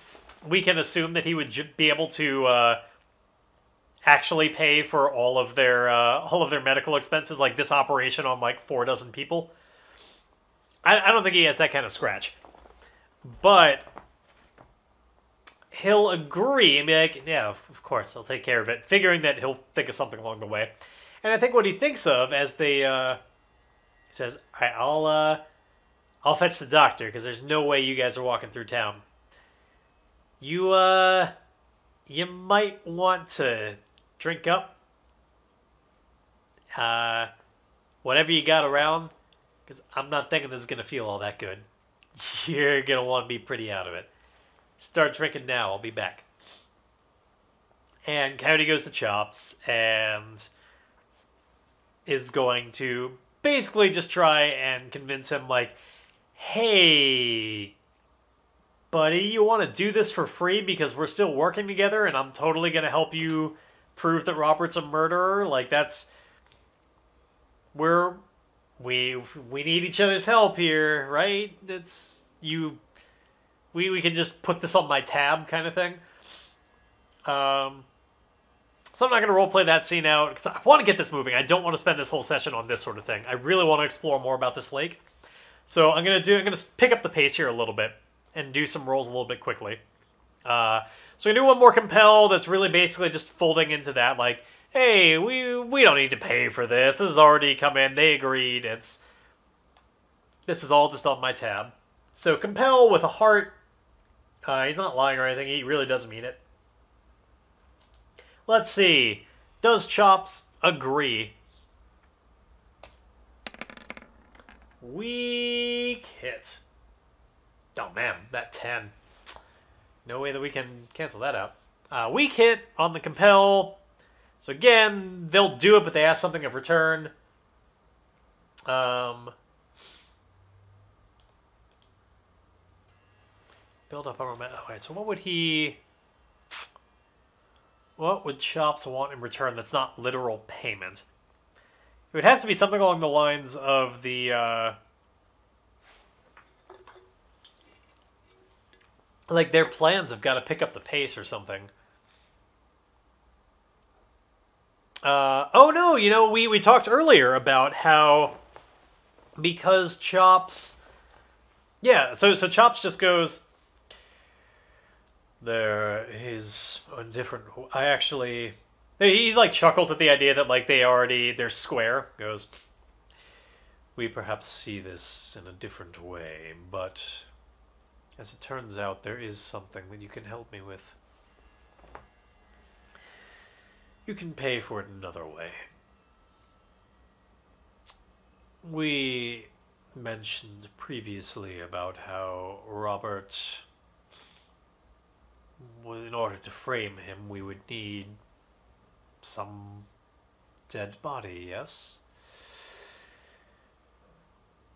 I may have acquired one already, thinking that you would have been ready with your part more quickly. Or rather, no, I guess he, uh, yeah, th- thinking that you had run out on the deal, I may have brought the plans ahead. I was no longer waiting for you to bring the right person by. I, forget what their actual plan was. I know the idea was that Chops was going to kill somebody, and then I guess Coyote was going to help him plant the body, maybe, or something like that. Uh, yes, I, I grew impatient and thought that you were ready, and I was wrong. There is something in the back of my shop that I'd rather not be here anymore. And it sounds like we don't need it, since he actually did kill somebody. Less risky to go with that than to try and frame him. So. Are you asking me to help dispose of a body? I'd never use such words, no. But. Go into the back of my shop and take your pick. There's a. There's a package for you. Get it out of here. And then I will go back to the ship. So basically, uh, indeed, get rid of a body, then I'll I'll help you out. Uh, and I think if I do this, uh, oh, never mind. That was I, I realized that the framing for a like this wouldn't really be a milestone for anything anymore. Or actually, yes, it would. It would be the defending gibbet against the Shadow Bears because this is getting them healthy. Um, so Coyote indeed goes back into this like part of the shop where it's just like there is uh I think he, he goes he like opens up this door and as he does this like mattress falls down against the ground uh with a big thud on these floorboards and like he jumps back a little bit. And then as soon as he walks in it just like the mattress falls and the door opens and this wafting horrible odor comes out because this body has been here for who knows how long, and nothing was done to uh, preserve it in any kind of way. So it's just like just flies all over the place, just maggots in the skin, and uh, just a horrible odor. that apparently, like, he supposes the mattress is probably just a, an additional barrier against the door to try and keep the smell from wafting out from like under the crack. And uh, gets in and is like, oh, oh my god, uh, how, how, how do I get myself in these situations? I, I s- soon as I'm an Ironsworn, this shit stops. No more. Okay. Uh, uh, uh. He like looks around. He sees that there's a. Uh, he like goes back out the door and looks out the window and sees like it's gonna be a while before the sun sets. It is not dark outside. He does not want to be just parading this body through the streets. So I think Coyote is going to be one of the first people in this world to like basically indeed just butcher up a body, like basically cut them into pieces and like put them into a container. Uh, I don't think that typically happens in this world. It's a little early before people start doing the just like dismembering sort of tactic. But Coyote's a, uh, you know, he's a clever man. He realizes that a body would be too obvious, but he could just do that. Or no, you know what? I don't know that he has the his iron is so low. I don't think he has the kind of stomach for that. But I think he could indeed do the like I'm just transporting this rolled up carpet somewhere. Oh my god. Um and so he is going to try and secure an advantage here on like how to get this body out without being noticed by looking around. He's going to use his wits to um which unfortunately, to try and see if he can find something like a carpet or a rug or something that he could roll this body up in. And uh, let's see here. We're making the secured advantage move. It is oh. No, I guess it is observation. It's uh He's gonna so in, instead of using our in, our wits because we're terrible at that, we're gonna try and turn this into a hearts roll, and say that he's gonna convince the uh, convince Chops to let him like he sees a carpet like it's not too hard to find. Convince him to let him use that. So uh, he like looks to uh, to Chops and goes like, "Hey, uh, should be a lot less likely to go the wrong way if I could." maybe dispose of two things. Like, uh, I don't know, also that carpet. If you see where I'm going with this. And we'll, we'll see if he if Chops indeed agrees that this is a good idea. Uh, so we're gonna we're gonna make a heart roll. And uh, there we go. Strong hit. Just what I was hoping for. So we gain advantage, choose one. Take control, make another move now, not a progress move, and add plus one. Or prepare to act, take plus two momentum. Um, our momentum's pretty high. I'd rather take the make another move right now with a plus one. So, yeah, we'll do that. Um, this is definitely a face danger roll because it's disposing of a body uh, in the middle, like rolling up a body in a carpet and getting through, like whistling, like, and hoping that nobody sees us. So, this is definitely a uh, stealth or like deception, stealth, or trickery. It would either it's either shadow or edge. They're both the same stat, so it doesn't even matter. Because like this could be about just going through town quickly enough, but eh, I think deception, stealth, or trickery makes sense. Um, and that way we can we can use our well, we'll be very good on this. So we have our plus one from the last roll. We have a plus one from Trickster because we are facing danger by.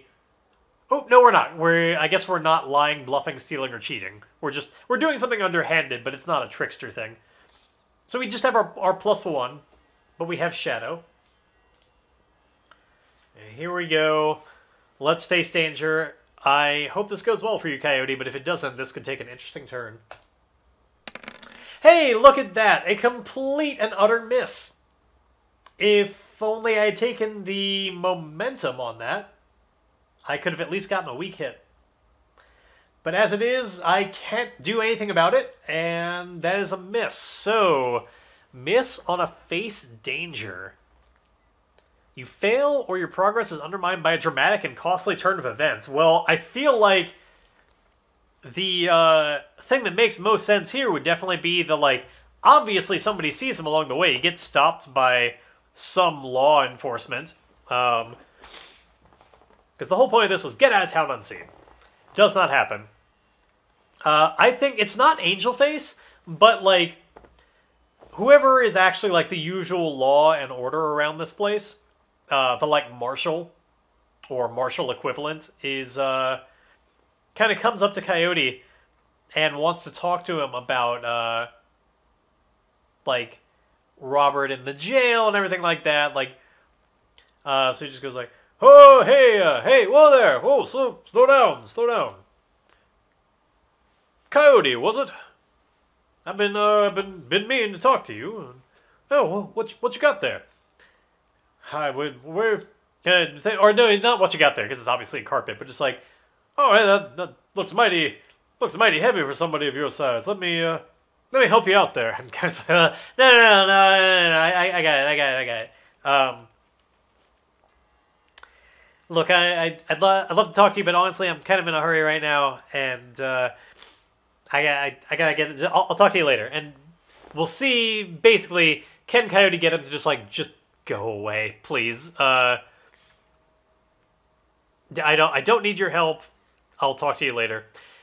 I think this is more of a face danger than a compel, honestly, because it's sure we're persuading him to go away, no questions asked, and everything, but I don't know. Um, it seems more like facing danger with just lying. Um, because yeah, we're not like asking something of him or uh, getting him to do something in a real sense. We're getting him to not do something. I, I- think it's really just fast talking, be like, "Sorry, I don't have any time. I, I gotta, I really gotta run," and uh, just not even giving him a chance to respond. Um, and yeah, we'll do the uh, it's face danger with a deception, stealth, or trickery. It's basically the same roll as last time, except the plus one that we get is from a different point.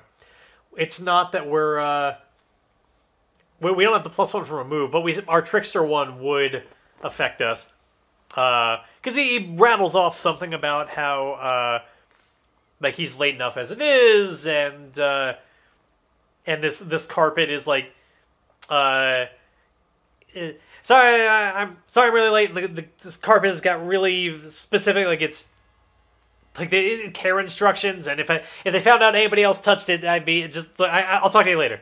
He like he rattles it off and doesn't get too specific about it because he doesn't want any more questions. And let's see, can he do this and get him to go away? Because if this goes poorly, I think that it will absolutely be that the body is found, uh, and this is going to take a very different direction. Come on. Okay, weak hit. Uh, I can't turn it into a strong hit.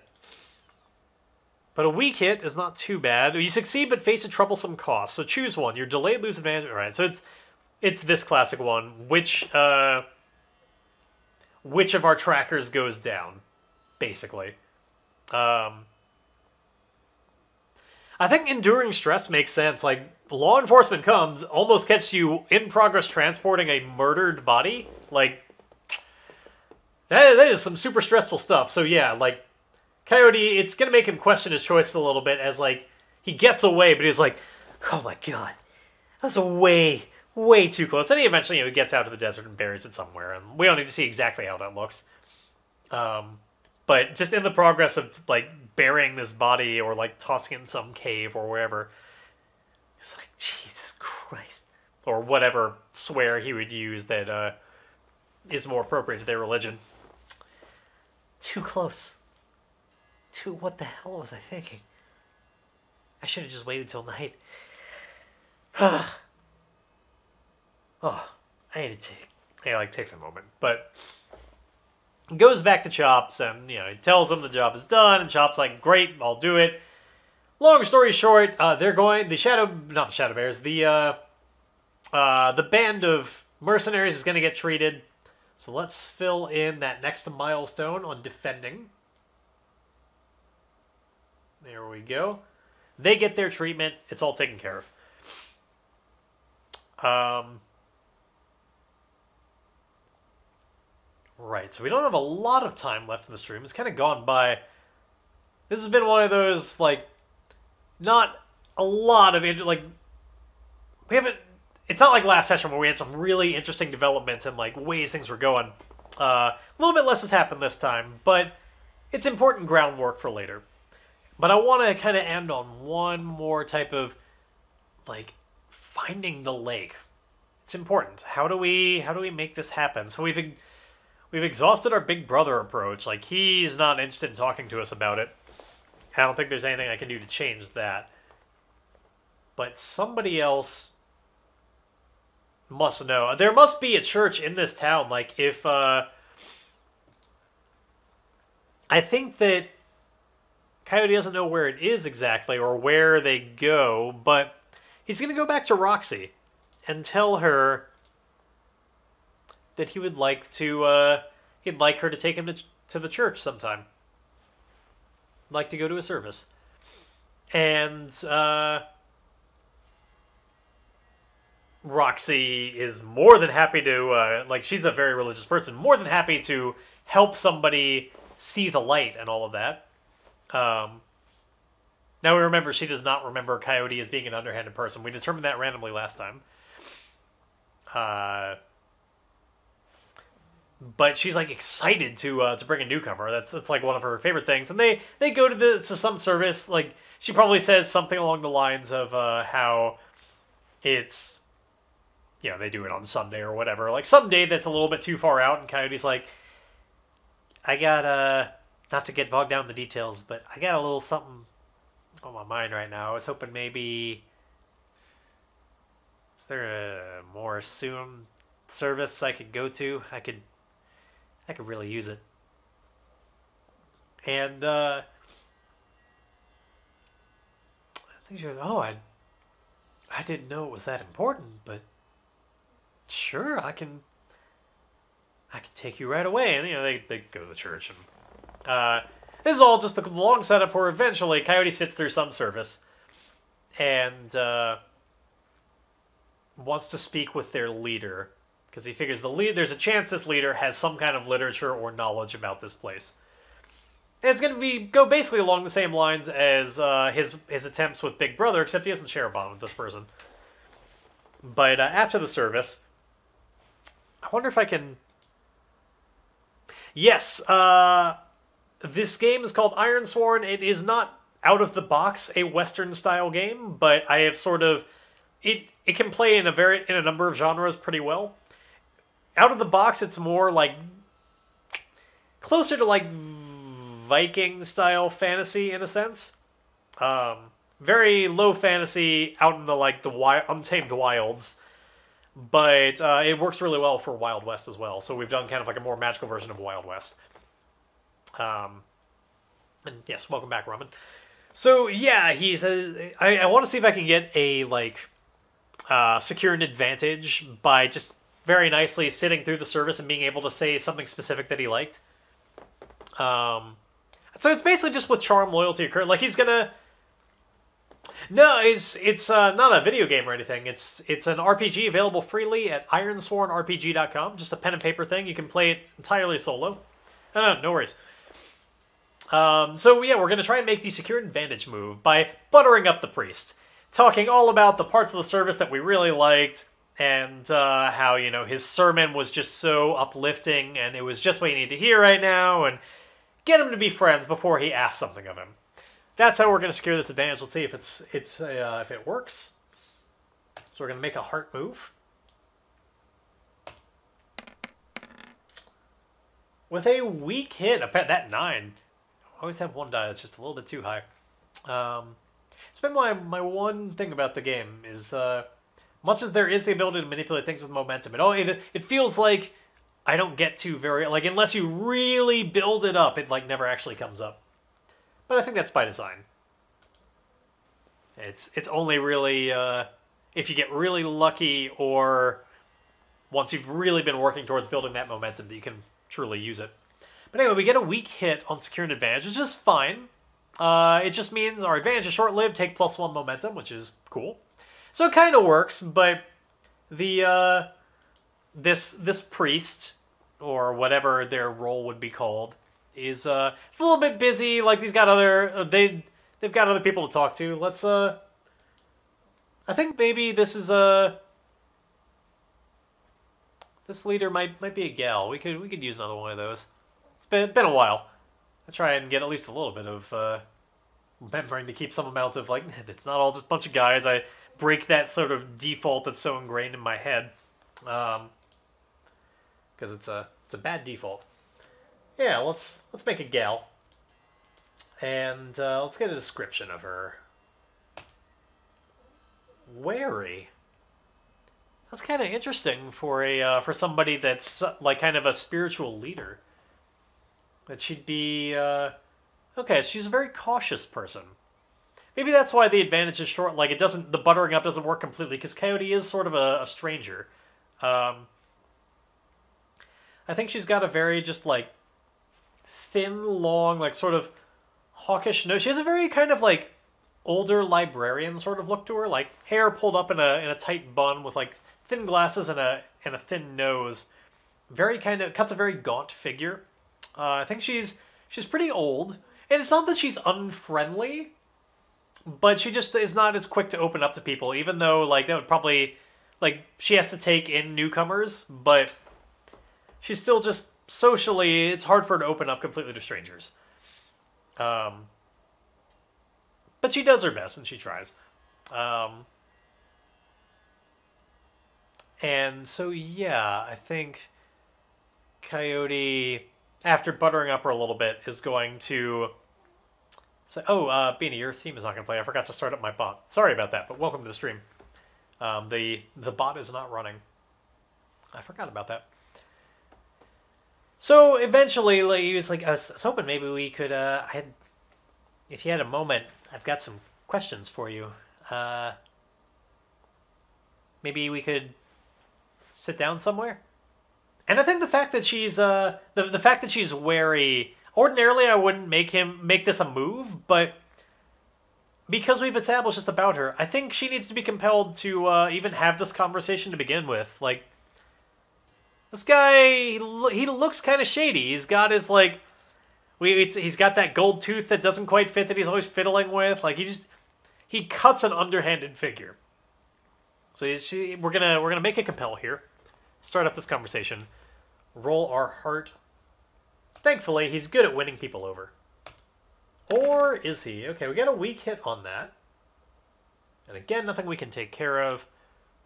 Um, so it's as above, but they want something in return. So we, we build up our momentum once more to all the way to plus eight. So now it's getting a lot more likely to actually help us. But she wants something. Um, oh, what if uh, yeah, may, maybe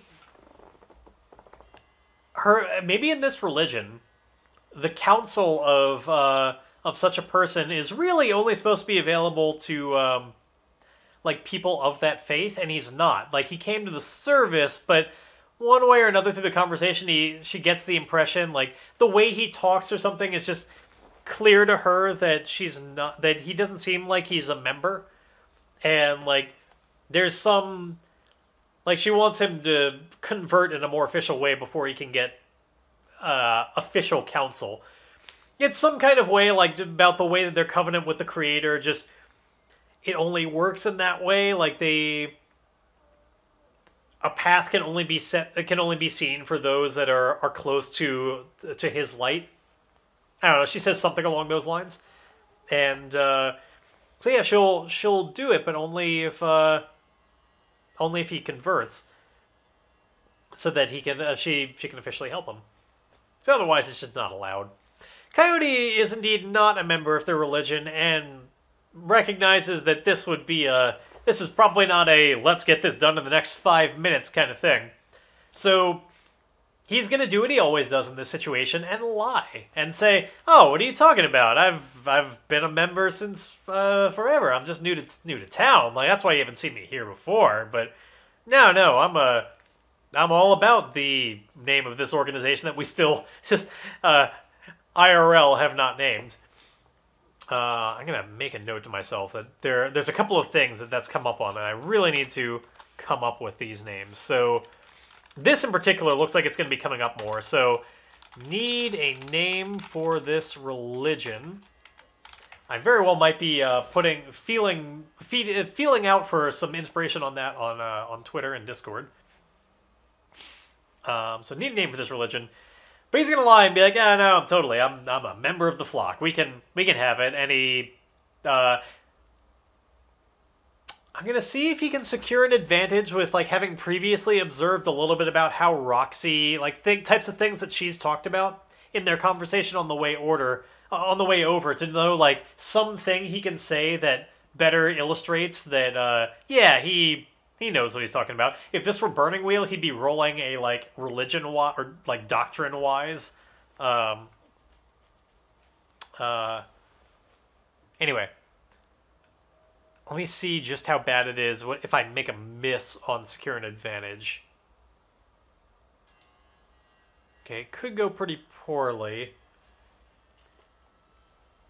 I don't know if this will be worth it because let's see the I could get either plus two momentum or plus one. Honestly, uh, I'm not going to do that. I think he'd be better off just trying to lie. My momentum is pretty high as it is. I think I have more to lose by trying to secure the advantage than not.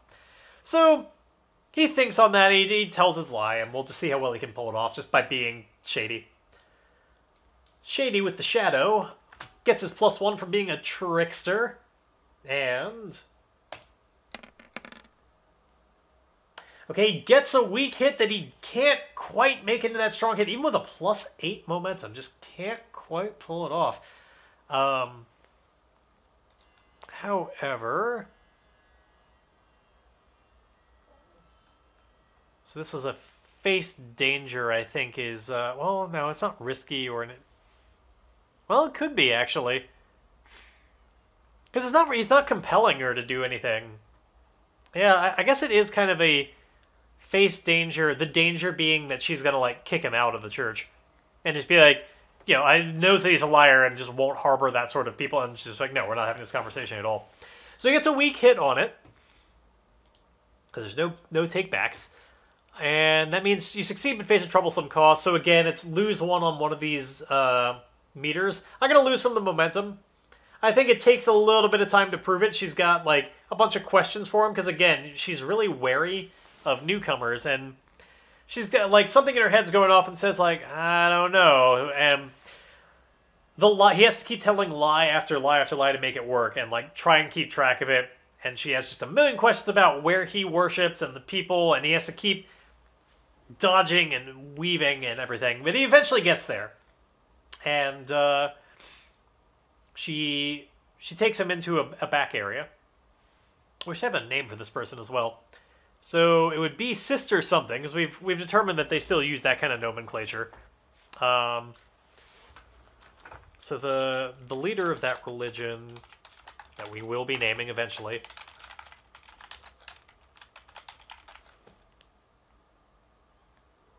Um. Okay, we. I just looked at the clock. I don't have enough. To, that'll be another thing that I'll be naming, but the sister, or no, I guess she would. Uh, not sister, but like the mo- the mother would be more. Yeah, because she'd be higher up. Um, mother something. Uh, they're they're in the back area, and they probably ease into it, but uh, as she goes, now, what is it? What is it exactly that you're here about? Yeah, that's, that's not quite the, not quite the right voice, but what is it exactly that you're here about? Well, uh, this is gonna sound.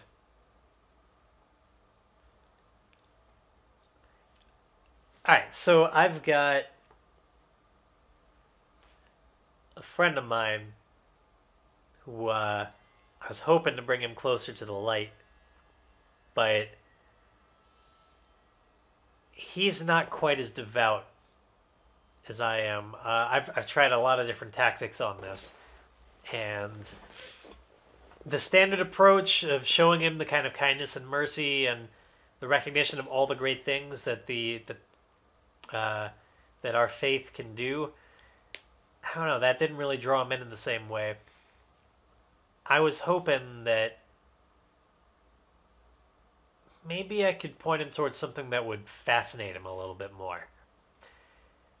I remember, and I'll be the first to admit, it's been a while since I have gone back to read scripture, but I remember there being passages about some of the great foes of the, of of the creator and the the the threats from the from the undercity.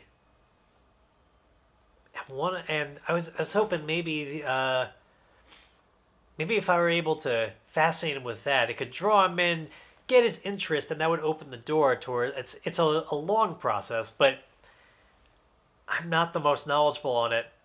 I don't want to waste your time. You're you're too busy of a person, but do you maybe have some books or something on the uh, on the on the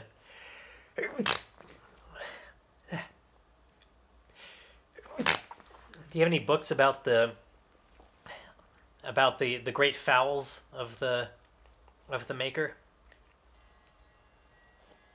And uh obviously he's telling a big lie. There's nobody that he's talking about but he's just trying to open her up to get her to give hand over some literature if she has any any any old books that cover things such as Gol- the Golnok and uh this one is going to be a compel because the compel is I want you to hand over this information. He's just doing it through lying. So it's another shadow move with a plus one. Some of these moves we make very often, as kind of happens in this game. Especially because you, you when you have a tactic that works with your character, you want it to work. So we have plus seven momentum. It's decent. I have got good odds at being able to turn this at least into a weak hit out of a miss. So let's see.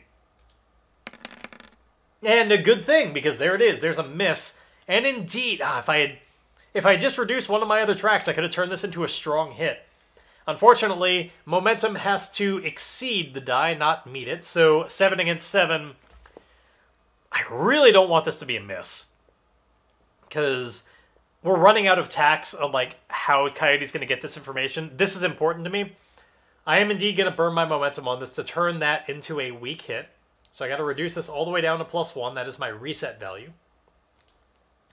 So when I burn momentum, I eliminate any die that is lower than that momentum. So lower than 7 is the 5. I pretend it doesn't exist, which means we now have a weak hit. Which means, as usual, um, they'll do it, but they ask something in return. So we need something that this person wants, and I'm going to do that through an oracle. So she wants something.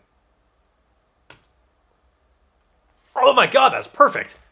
Oracle, it's like you've been listening, like, that is spot on. Spread faith. Who would have thought that the leader of this religion would have had that as a goal? Um, so spread faith in a particular way. Um,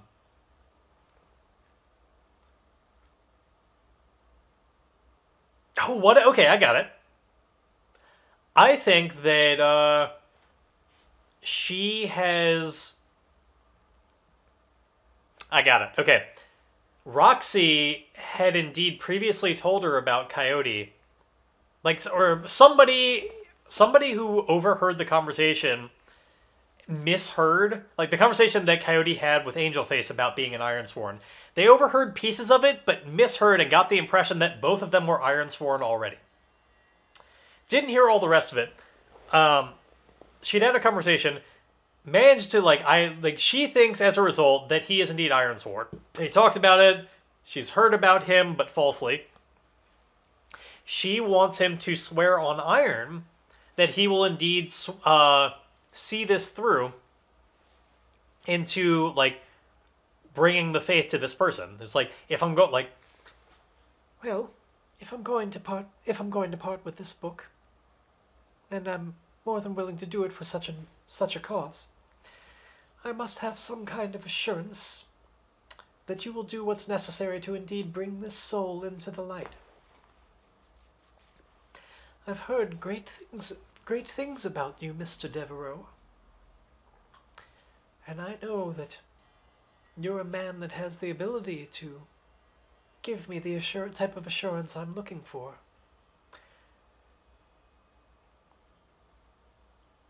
I will say it is a little bit unusual to find one of your sworn nature in the faith, but I suppose there's nothing in direct conflict. It just doesn't usually happen. But I know it's important to you, even if it's not important to our faith. Swear on iron to me that you will bring the faith to this person and not stop until you have reached it, and I will give you this book. Now, obviously, this puts Coyote in a little bit of a jam for a couple of reasons. One, no such person exists, so if he swore this vow, he could not possibly complete it. Because it is based on a person that is not real. Um, and two, he kind of promised uh, Angel Face that he would stop just swearing iron vows all the time because it's dangerous to do it before his training is complete. So I think what Coyote's got to do here. We've often talked about how he's got this little head bandage thing that he uses to fool people into thinking he's weaker than he is, though right now he actually is about that weak, looking at his health track. And he's got all sorts of little trinkets and stuff hidden up there in case he needs them.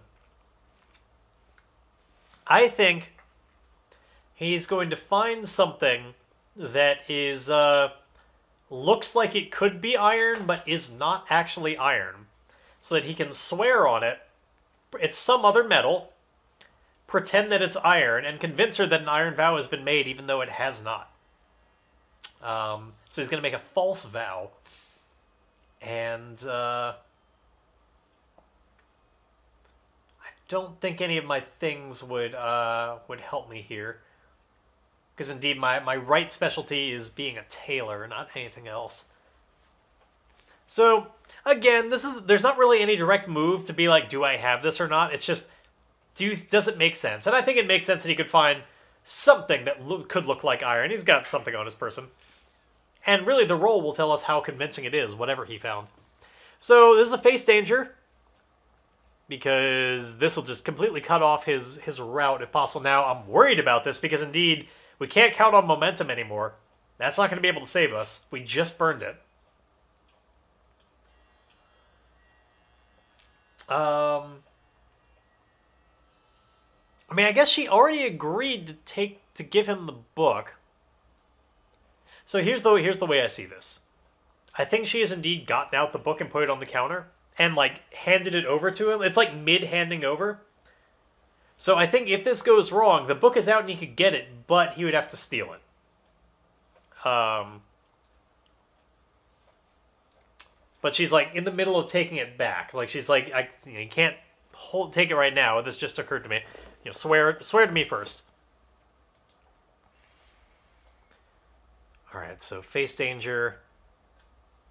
Come on. Is there anything else I can do? Is there any way that I can secure an advantage first? What could I...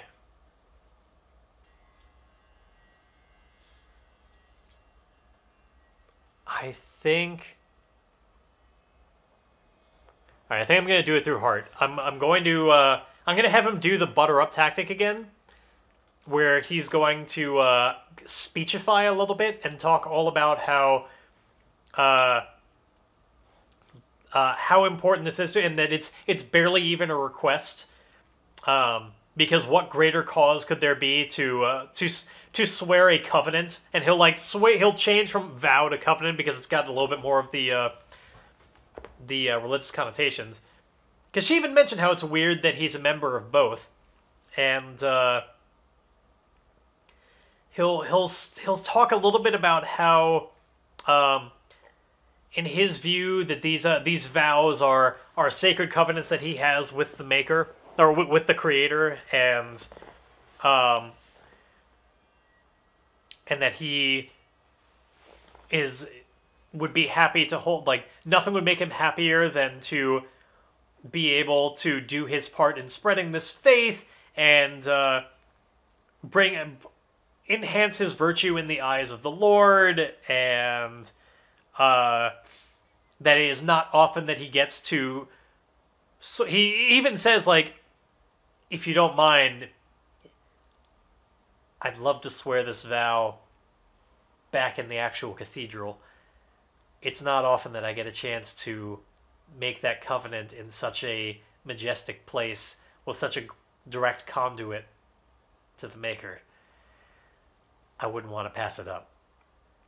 So we're going to see if he can secure an advantage that way by just kind of like praising her church and really leaning into the, of course, the Lord is great sort of thing before doing this lie. Um, so yeah, let's let's make this heart roll. This is this is for secure an advantage first.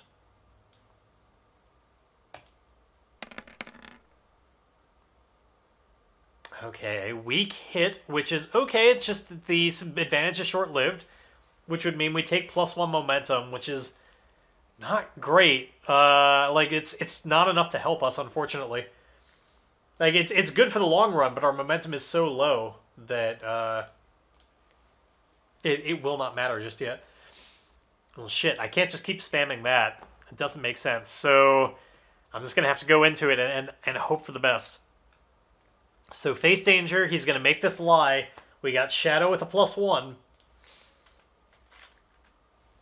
There is literally no way my momentum could help me here. So come on, roll well. Oof. That is the opposite of what I was looking for.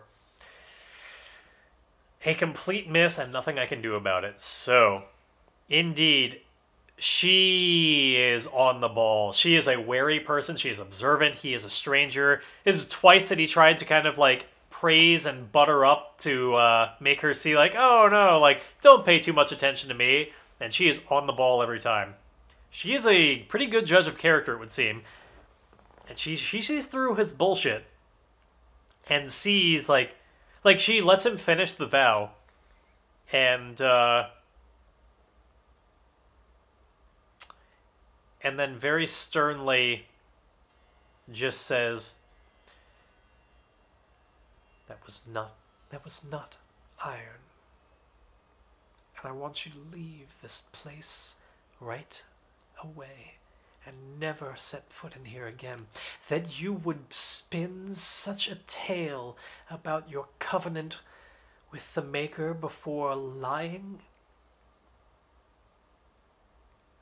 can't believe that an Ironsworn would would make light of such an important thing. Get out. And we basically have a like, you know, the mother will remember this telltale sort of thing over her head right now. Like this is gonna forever shape her views on Ironsworn. Like I think she used to think that the Ironsworn and uh, and their religion could work side by side as like two different things, but not directly butting heads. Like they're still both wor- both worthwhile. I think he has now soured her opinion on Ironsworn as a thing that they are basically heathens and not actually of their word. Can't be trusted. It's all just them promising things just to get what they want, and they don't make good on it. Like he has soured this.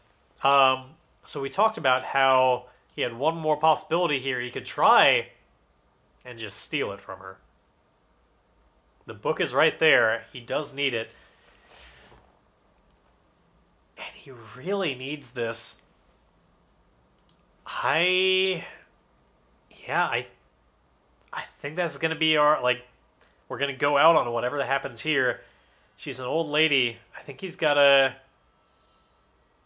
he's got to try and steal it from her. Thankfully, this could be this is indeed Um, I think this is just about his speed, really.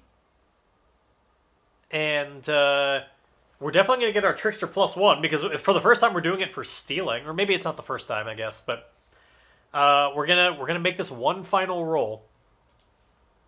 So it's gonna be edge, with a plus one as he tries to just snatch it out of her hands and run off before she can do anything about it.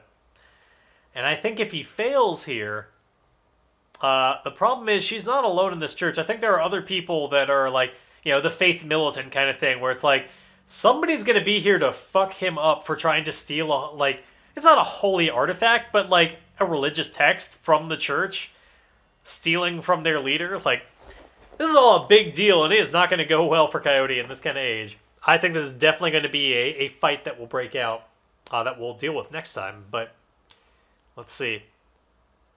How does this go? Whew. Okay, finally. It's been a long time since I've seen those words. Finally, the dice go back my way. We actually we do get the strong hit. Now, remember, this was not about stealth. This was just about snatching it quickly. She knows he took it. It's just that he gets away with it. So, the last moment of here, now granted, she already felt pretty bad about, like, she's not exactly the happiest person with him. The book is there. He snatches it from her arms and just runs off. And it, certainly now she's all the more just upset about the whole thing about Ironsworn. He has left quite the impact on her opinion about them. And he runs off while she shouts after him, but she's she's kind of old and slow. She can't really chase him down, and he's he's pretty swift as we've seen before. Um, and she's just crying out like, "But st- stop! Get get him! Get it, But he's he's with the result of the roll. He's too fast. Like there are other people that try and chase him, but he's too quick. He gets away. Nobody notices, and she just like drops to her knees and uh, and just like she's not crying or anything, but just like pounds her hand on a pew, and uh, and like grabs something, is like gripping it tight in her grip, and just real and just shouts out like I'm not gonna do it into the mic because it's gonna like peak and it'd be hor- horrible. But she she just lets out this yell. Like I, I think she's got like there's a fury inside her, not like in a direct like I'm gonna fight you sort of way, but there's a fire inside that she's not just always just like keeping it cool, uh, cool headed. And she lets it out in this this scream inside the church that's just like echoing, uh, and not like a scream of terror or like uh, crying out like "Oh my God!" It- but like, um, but just a, a shout of frustration. And she just like pounds her fist on the uh, on the pew, and it's not a frustration that he got away or stole this from her. It's not that it was that important, but a frustration that she opened herself up to being trusting like that. Uh, she, that she knew there was something off about this guy from the get go, but that she let him get in. Uh, and she's frustrated with herself about that. I, I'm thinking this is a person who has got some issues about some trust issues and uh, blames herself for things that she should probably blame not blame herself for. But anyway, we go out on that. Coyote steals this book. And uh, yeah, let's wrap things up. I've gone over time by about 15 minutes, so I'm going to do a quick little wrap up here. I thank you for joining. Once again, this game is called Ironsworn. It is a game designed around the ability to play it as a single person. Again, this is not by default a Western game, but as you can see, it uh, it translates to Western pretty well. Uh, it is available for free. You don't have to pay a dime at ironswornrpg.com. Heartily recommend you pick it up. If you really, really enjoyed it, uh, say some kind words to Shawn Tomkin. He's available on Twitter at Shawn Tomkin, I believe. Um, cool guy, made this game and is the person who made it for free. If you really, really like it, you can also buy it. It, it is pay what you want. You can get a beautiful hard copy. But anyway, uh, thank you for joining me. I do this every Saturday for uh, two hours from 8 p.m. to 10 p.m. Pacific time, or a little bit over this time. So I'll be back to do that next Saturday. And then, of course, I'll be back tomorrow for the thing a lot of people know me around here for uh, the cello stream. So, also on this channel, and if you're watching this on YouTube, that Twitch channel is twitch.tv slash midnightjester8. Uh, I do a cello stream, cello request for four hours from 5 to 9 p.m. Pacific time on Sundays, and then uh, usually an after party of some sort. So I'll be doing that tomorrow, and uh, yeah, hope to see you all around and in the future. If you are interested in this game but need to catch up on the previous sessions, they are all available on YouTube. This one will be up there later tonight. I get started with the export and upload process as soon as this is over, so that'll be up in a few hours. And uh, yeah, hope to see you in the future. Bye, everybody.